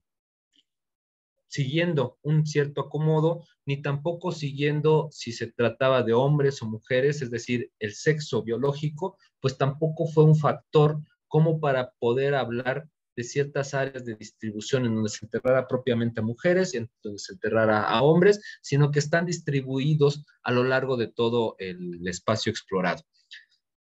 En términos de edad se aprecia exactamente lo mismo. La importancia de Tlatilco eh, radica en la gran cantidad de, que conforma la, la, serie esquelética. Son 214 entierros los que fueron identificados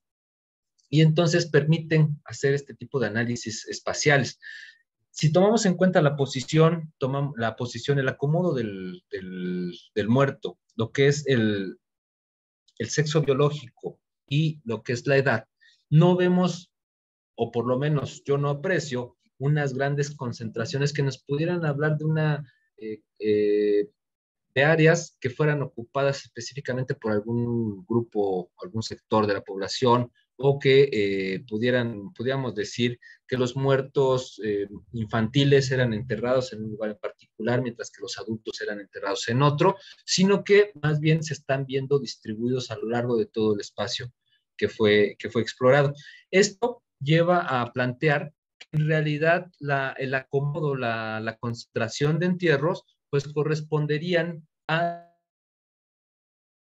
las unidades domésticas, las casas en donde vivieron estos, estas personas y que eh, deben haber existido algunos espacios comunes en donde también se estuvieron enterrando a, los muertos. Es probable que si tenemos en cuenta que las dinámicas humanas, en muchas ocasiones, aun cuando tenemos nuestra, nuestra familia, nuestra familia nuclear, en donde yo puedo tener a mi esposa y puedo tener a mis hijos y vivo en una casa en particular, pues en realidad yo también puedo estar ligado a alguna otra unidad doméstica, como puede ser la unidad de eh, mis padres o la de mis hermanos. Mi esposa también va a tener otras unidades eh, en las cuales está ligada. Entonces, los individuos a lo largo de todas sus vidas, pues no se van a ligar a una sola unidad doméstica. Es probable que eh, estos espacios comunes, estos espacios abiertos, estos espacios amplios, hayan formado como áreas de interacción común y por eso se estén enterrando a los muertos, muertos que pueden haber estado ligados a más de una de las unidades domésticas. Esta, estos eh, rasgos, estas, estas áreas habitacionales, perdón, pues nos hablan que los individuos estuvieron ligados a lo largo del tiempo, tanto en la vida como en la muerte. Eh, cuando muere alguien, como nos comentaba ayer el maestro Eric, pues se entierra porque existe un arraigo, nos decía él. Además de ese arraigo, pues es una identidad, una identidad grupal. Mi, mi difunto forma, sigue formando parte de lo que es la vida comunal, la vida, en primera instancia, la vida familiar, pero también lo que es la vida, la vida eh, comunal.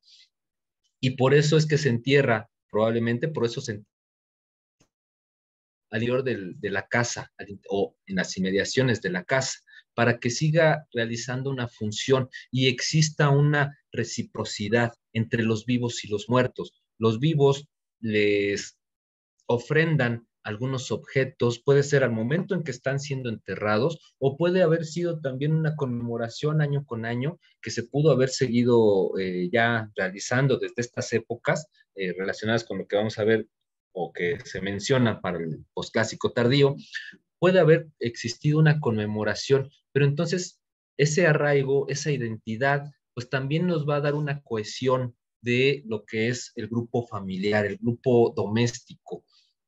y los muertos, así como están recibiendo esas ofrendas por parte de los vivos, habrían estado también trabajando en beneficio de la comunidad. Si están siendo enterrados, eh, siguiendo un poco algunos aspectos que menciona Catherine Wood, si bien es cierto que están siendo enterrados, pues desde la tierra pueden favorecer a lo que es la germinación de las semillas o también se pueden llegar a considerar como los que atraen los vientos, entonces existe una, es muy probable que haya existido un, sistema de reciprocidad entre vivos y muertos y de ahí que hayan sido enterrados ya desde épocas tempranas del, del periodo preclásico, que comiencen a enterrarse a los muertos en las áreas habitacionales. Tanto como se observa aquí a partir de estas propuestas de las áreas de las casas, porque no se tiene la evidencia de dónde estaban estas casas, pero si las concentraciones nos permiten proponerla. tanto al interior de las casas como en las inmediaciones es donde se, se, enterraba a los muertos. Y tomando en cuenta algunas áreas en donde se la vida social, la vida eh, comunal, pues también pudieron haber sido enterrados en estos, en estos espacios los muertos. Entonces, si tomamos en cuenta ciertas propuestas para eh, poder tratar de entender a estos grupos, a, a estas comunidades del periodo preclásico, pues podemos llegar a proponer ciertas características y ciertas razones de por qué es que se enterraban a los muertos así. Eh, lo que es cierto es que no hay una, una disposición marcada en términos de lo que es el acomodo del muerto. O sea, se observan una gran variedad de formas de, enterrar al muerto, tanto que están extendidos como que están eh, flexionados, semiflexionados, con o sin objetos, una gran cantidad de objetos. Esto a mí me lleva a pensar que eh, se trata de, de una sociedad igualitaria, pero en donde ciertos personajes llegan a adquirir un cierto estatus a partir de lo que viene a ser sus cualidades personales, su actividad, su forma de ser, un cierto reconocimiento, pero este estatus no va a ser heredado, sino que al morir la persona o al perder el reconocimiento se pierde todo ese, todo ese, eh, todo ese estatus que se había adquirido. Esto a partir de que yo considero, si fuera algo heredado, tendríamos ciertas concentraciones de individuos en donde se presenta una gran cantidad de objetos en diferentes entierros, que nos hablaría de una diferenciación social y eso no se observa en esta en la distribución de lo que son estos muertos. Sino que los individuos con una gran cantidad de objetos los vamos a tener dispersos por diferentes eh, unidades domésticas. Entonces, creo que más bien aquí lo que está sucediendo es que hay algunos individuos, tanto hombres, pero principalmente mujeres, que están obteniendo un estatus alto por sus características, por su personalidad o por su actividad. Eh, algunos investigadores llegaban a marcar para Tlatilco una diferenciación por sexo, por sexo biológico, pero si fuera así, lo que se habría observado es que todas las mujeres hubieran presentado una gran cantidad de objetos y solamente son algunas de ellas las que los llegan a presentar. Entonces, más bien es una cuestión de eh, ciertos individuos, ciertas mujeres que están llegando a tener ese estatus, que están llegando a adquirir ese estatus pero a mi modo de ver, no es una cuestión de sexo biológico esa diferenciación, sino más bien solamente algunos individuos, porque también hay algunos otros hombres eh, que presentan eh, una buena parte de objetos.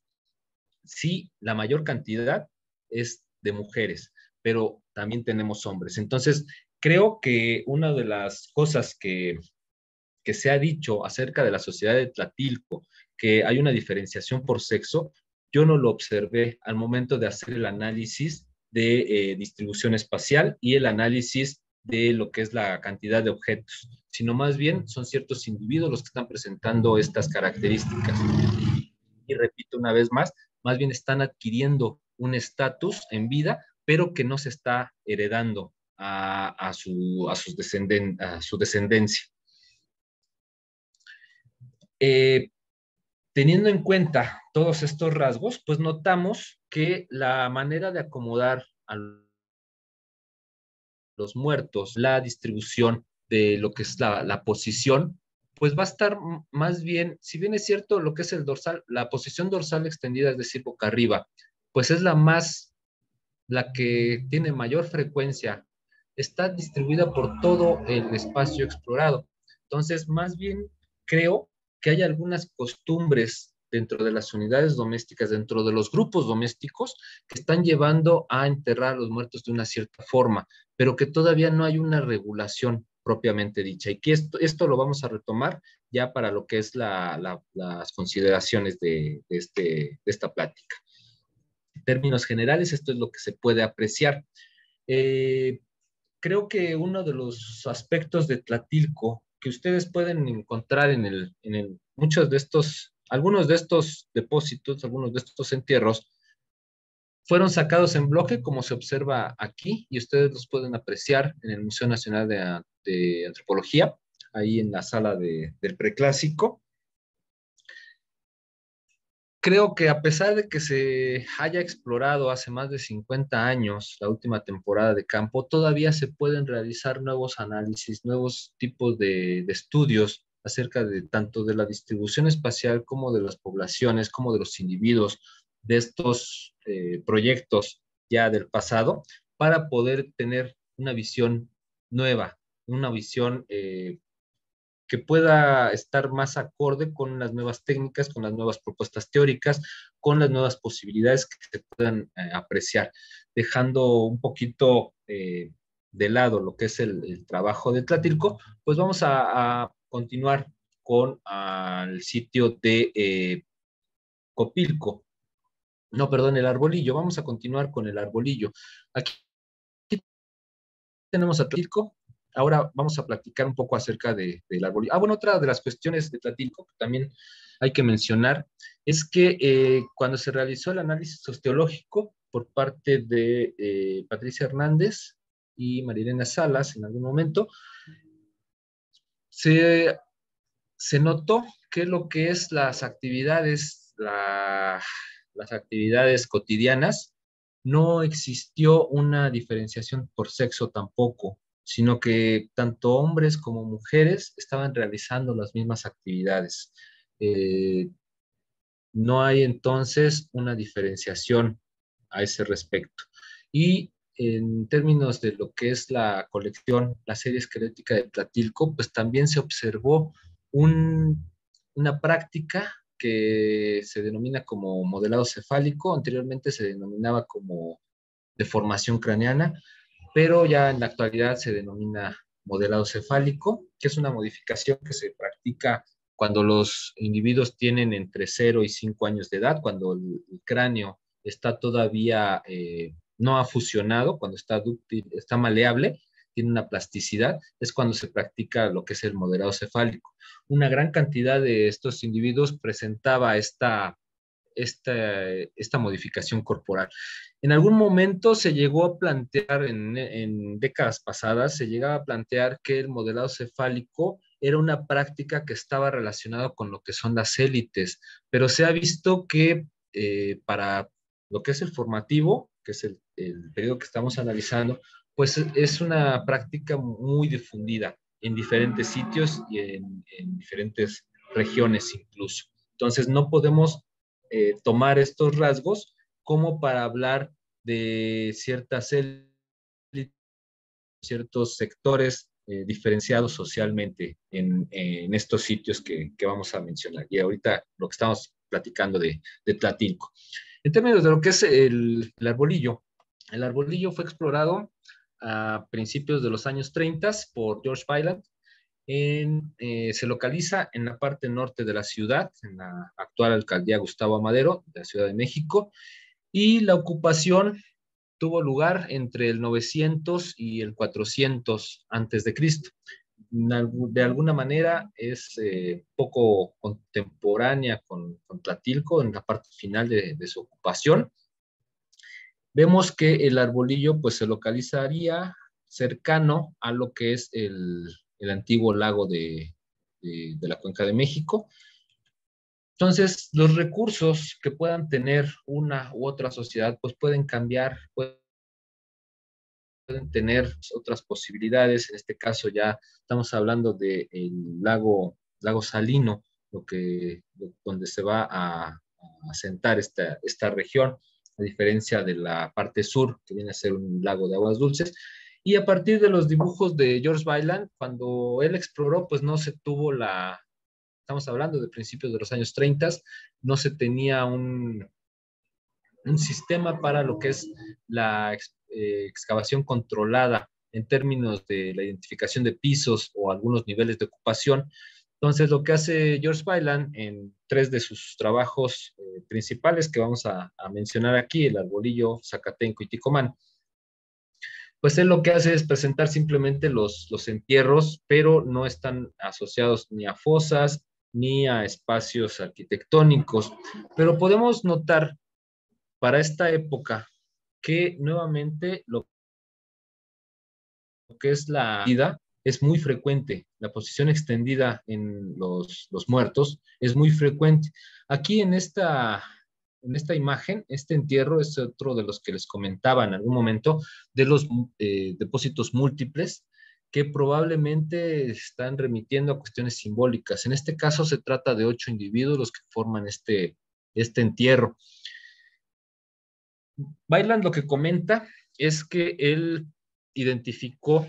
tres etapas de ocupación. En la primera de ellas, la, la posición entre estos años, 900 y 400, que se podría situar. La primera de ellas vendría a ser una posición extendida mayormente frecuente. La segunda de ellas, vamos a encontrar lo que vienen a ser algunas cistas, la elaboración de algunas cistas, es decir, eh, espacios construidos para, depositar al, muerto con, tapas de lajas, también con una mayor frecuencia de de la posición extendida. Y para la siguiente etapa, para la tercera, pues ya comienzan a darse más bien, ya se deja de, elaborar las cistas y los individuos se entierran en posiciones flexionadas mayormente. Pero a lo largo de todo este periodo, el periodo formativo, las posiciones van a ir variando. Todavía vamos a ver que al final se va a ir tal vez normalizando la posición de los, del acomodo de los muertos, pero en términos generales están conviviendo estas diferentes posiciones para enterrar a los muertos. Y también algo que podemos notar a partir del trabajo de, George Bailand es que el, lo que vienen a ser los entierros están cercanos a alineamientos de muros que pudieron haber, alineamientos de piedras que pudieron haber correspondido a cimentaciones de muros. Entonces, ya desde este momento estamos viendo esa asociación de lo que es el enterrar a los muertos cercanos a las habitaciones, ya sea al interior o al exterior de estos espacios. Aquí en el Arbolillos fueron 58 eh, entierros, los que, 58 individuos los que reporta George Byland. También muchos de ellos pues están con una gran cantidad de objetos, algunos presentan algunos eh, objetos como cuentas de piedra verde, algunos objetos suntuarios, pero no se aprecia tampoco una diferenciación en términos sociales, en términos de lo que viene a ser un sector, sino más bien individuos que están presentando estos objetos y que no estarían concentrados unos otros, estos objetos suntuarios, sino que estaría el área que, exploró George Byland. el siguiente sitio, pues va a corresponder a Copilco. Copilco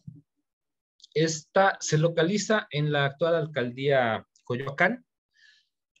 Copilco está cubierto por una gruesa capa de, basalto que corresponde a la lava del volcán Chitle, que hizo erupción aproximadamente hacia el año 280 después de Cristo, más o menos 35 años, a, eh, partir de los, trabajos más recientes por parte de Klaus Sieb eh, y del, del, Instituto de Geología de la UNAM, que ya lo podemos situar esas erupciones más en concreto, porque la erupción del Chitle fue un tema que se discutió durante muchísimos años. A principios de los años del siglo XX se le daba una antigüedad mucho, muy grande a la erupción del Chitle. Posteriormente, los trabajos de William Sanders, eh, Blanton y, Parsons, Basin of Mexico, de 1979, señalaba la erupción entre el año 100 antes de Cristo y 100 después de Cristo. Ya la podemos a partir de estos trabajos de Klaus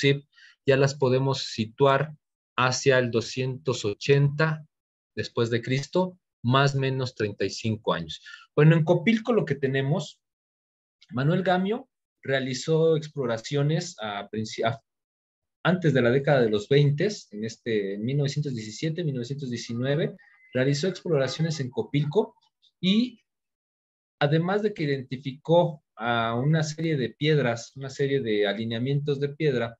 recuperó también algunos entierros, algunos esqueletos humanos. No se cuenta con la cantidad exacta de cuántos identificó. Esta imagen por lo menos se aprecia que están limpiando uno de ellos.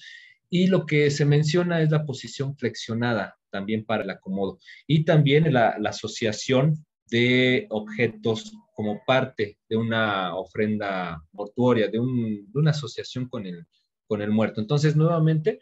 aun cuando no se cuenta con los registros eh,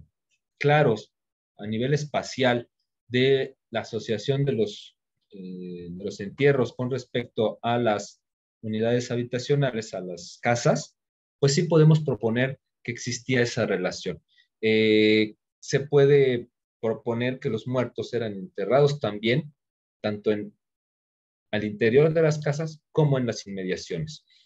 Y esto, esto es lo que también corroboran los investigadores de la Dirección de Registro que se han dedicado a hacer algunas exploraciones eh, en la década pasada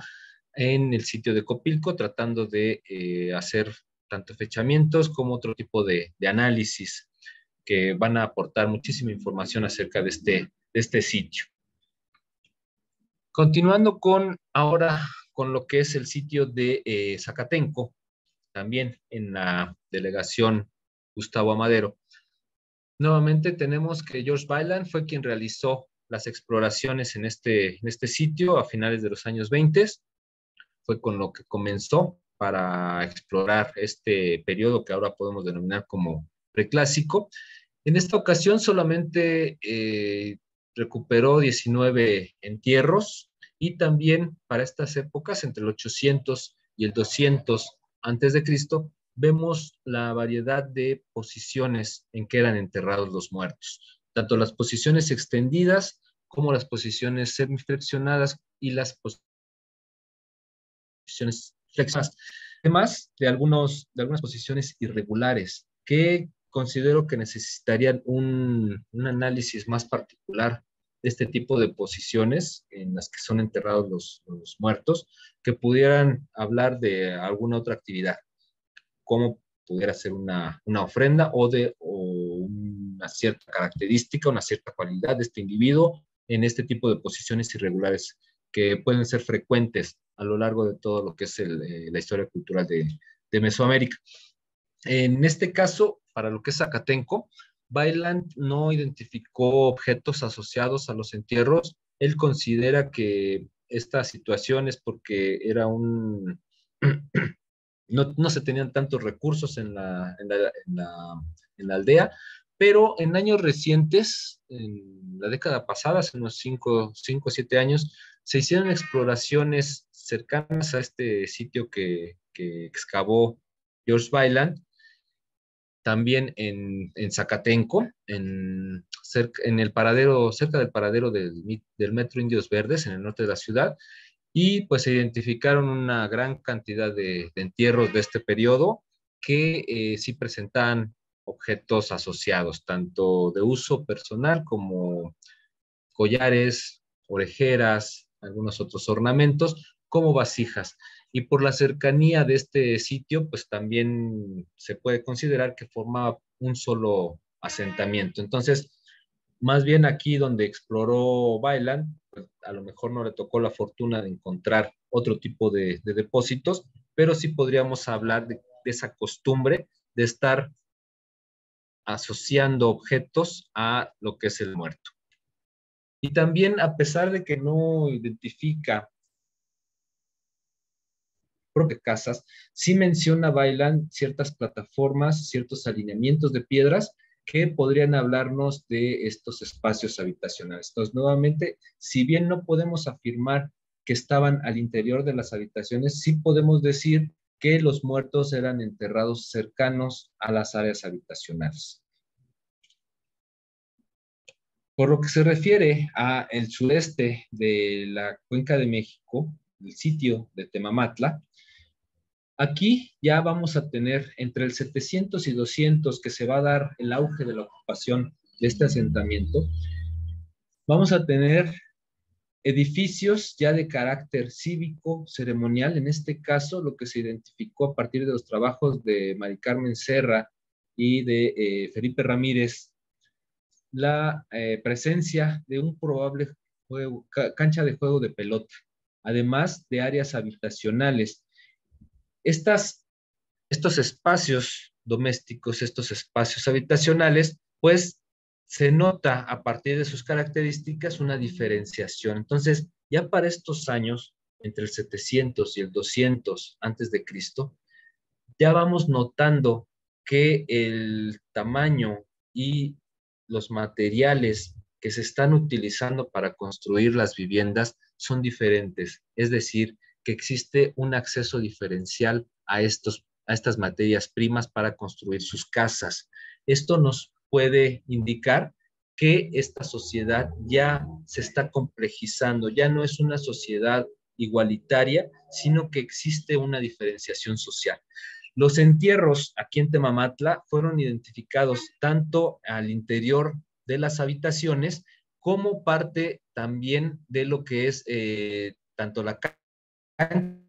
eh, del juego de pelota este edificio identificado como juego de pelota, como en las partes que se conocen como los cabezales, las partes eh, de remates de estos edificios. Entonces, aquí podemos hablar de que a partir de los lugares en donde se están encontrando estos entierros, podemos hablar de prácticas funerarias y de prácticas de ofrendas. Si estamos hablando de las áreas habitacionales siguiendo estas, estas tradiciones mesoamericanas, esta tradición en el preclásico, los muertos estarían siendo enterrados al interior de, las casas. Y en este otro caso, cuando estamos hablando ya de un este, edificio o de un espacio cívico y ceremonial, los entierros estarían funcionando más bien como una ofrenda, como una ofrenda de consagración del edificio, del espacio y como un espacio, como un lugar en donde se establece una comunicación con las divinidades. Entonces, aquí ya podemos hablar para este periodo, lo que vendría a ser el preclásico medio y el inicio del preclásico tardío, de esa diferenciación y de una mayor cantidad de, eh, o más, más que cantidad, de una identificación de ciertos depósitos ya de carácter de ofrenda, asociados a edificios públicos y ceremoniales. Eh, continuando con lo que vienen a ser los, los, sitios que estamos considerando para esta, para esta plática, tenemos ahora el sitio de Ticomán, que fue otro de los explorados por, por George Bailan a, a, principios de la década de los 30. Más o menos Bailan excavó entre 1929 y 1931 estos tres sitios. Comenzó con Zacatenco, después siguió con Ticomán y concluyó Bolillo en esta zona de, la Cuenca de México. También hizo exploraciones en el Valle de Morelos, en el sitio de, de George Baila. Pero eh, en términos de lo que es Ticomán, pues ya estamos hablando de la parte final del preclásico, perdón, ya más bien el inicio del preclásico tardío, del, del 400 al 200 antes de Cristo. Y aquí, si se fijan, en, esta lámina de los entierros que reporta George Bailan, ya se ve una mayor frecuencia en términos de lo que son las posiciones flexionadas. Si bien es cierto que todavía hay algunos en posición extendida, ya es mayor el número de, entierros en posición flexionada, los que estamos eh, apreciando. En, en cuanto a lo que es la asociación, también encuentra bailan alguna serie de, terrazas, terrazas habitacionales y los entierros están al exterior de estos espacios. No, no identificó lo que eran propiamente las casas, las habitaciones, pero nuevamente podemos encontrar esa asociación en términos de lo que son los espacios en donde se están enterrando a los muertos con las áreas habitacionales y también la presencia de objetos asociados a cada uno de estos, de estos individuos. Hay algunos que no tienen objetos asociados, pero sí hay algunos otros que, tanto vasijas como adornos, cuentas, puntas de proyectil, diferentes objetos, incluso también este, en este caso, la asociación de un cráneo asociado, eh, cercano a lo que es el, individuo. Y la posición de, los objetos tanto cercanos al cráneo como en algunos otros lugares del cuerpo, cercanos a algunas otras partes del, cadáver. Y vamos ahora entonces con lo que es el sitio de eh, Terremoto Tlaltenco. Terremoto Tlaltenco, aquí vemos la, la ubicación de este sitio, va a ser dentro de los que estamos considerando y dentro de lo, que, se conoce de sitios del, preclásico formativo en, la Cuenca de México, a diferencia del resto de los sitios que están en tierra firme, Terremoto Tlaltenco se va a desarrollar en un eh, islote. Un islote que puede haber sido natural, pero que posteriormente fue agrandado a partir de los trabajos de Mari Carmen Serra, se menciona que, se hubo, que hubo una, adecuación de este islote para hacerlo más amplio. Entonces, las características de este asentamiento pues, van, a ser van a ser distintas. Aquí va a haber una mayor facilidad en términos de lo que es la, pesca y se van a dedicar a, la cestería, básicamente, esta población. El resto de los que hemos visto son más bien sociedades agrícolas que están subsistiendo tanto de lo que es la producción de, productos agrícolas como, perdón, la producción de, granos, como lo que es la apropiación de, la, de, recursos por la cacería, la, eh, la recolección, pero acá en, en Terremoto Tlaltenco ya más bien lo que tenemos son una comunidad que está subsistiendo de la pesca, probablemente están cosechando, pero en términos muy eh, como una horticultura, un consumo propio de cada unidad doméstica y están elaborando objetos de cestería a partir de, de la presencia de las fibras vegetales que se fueron identificando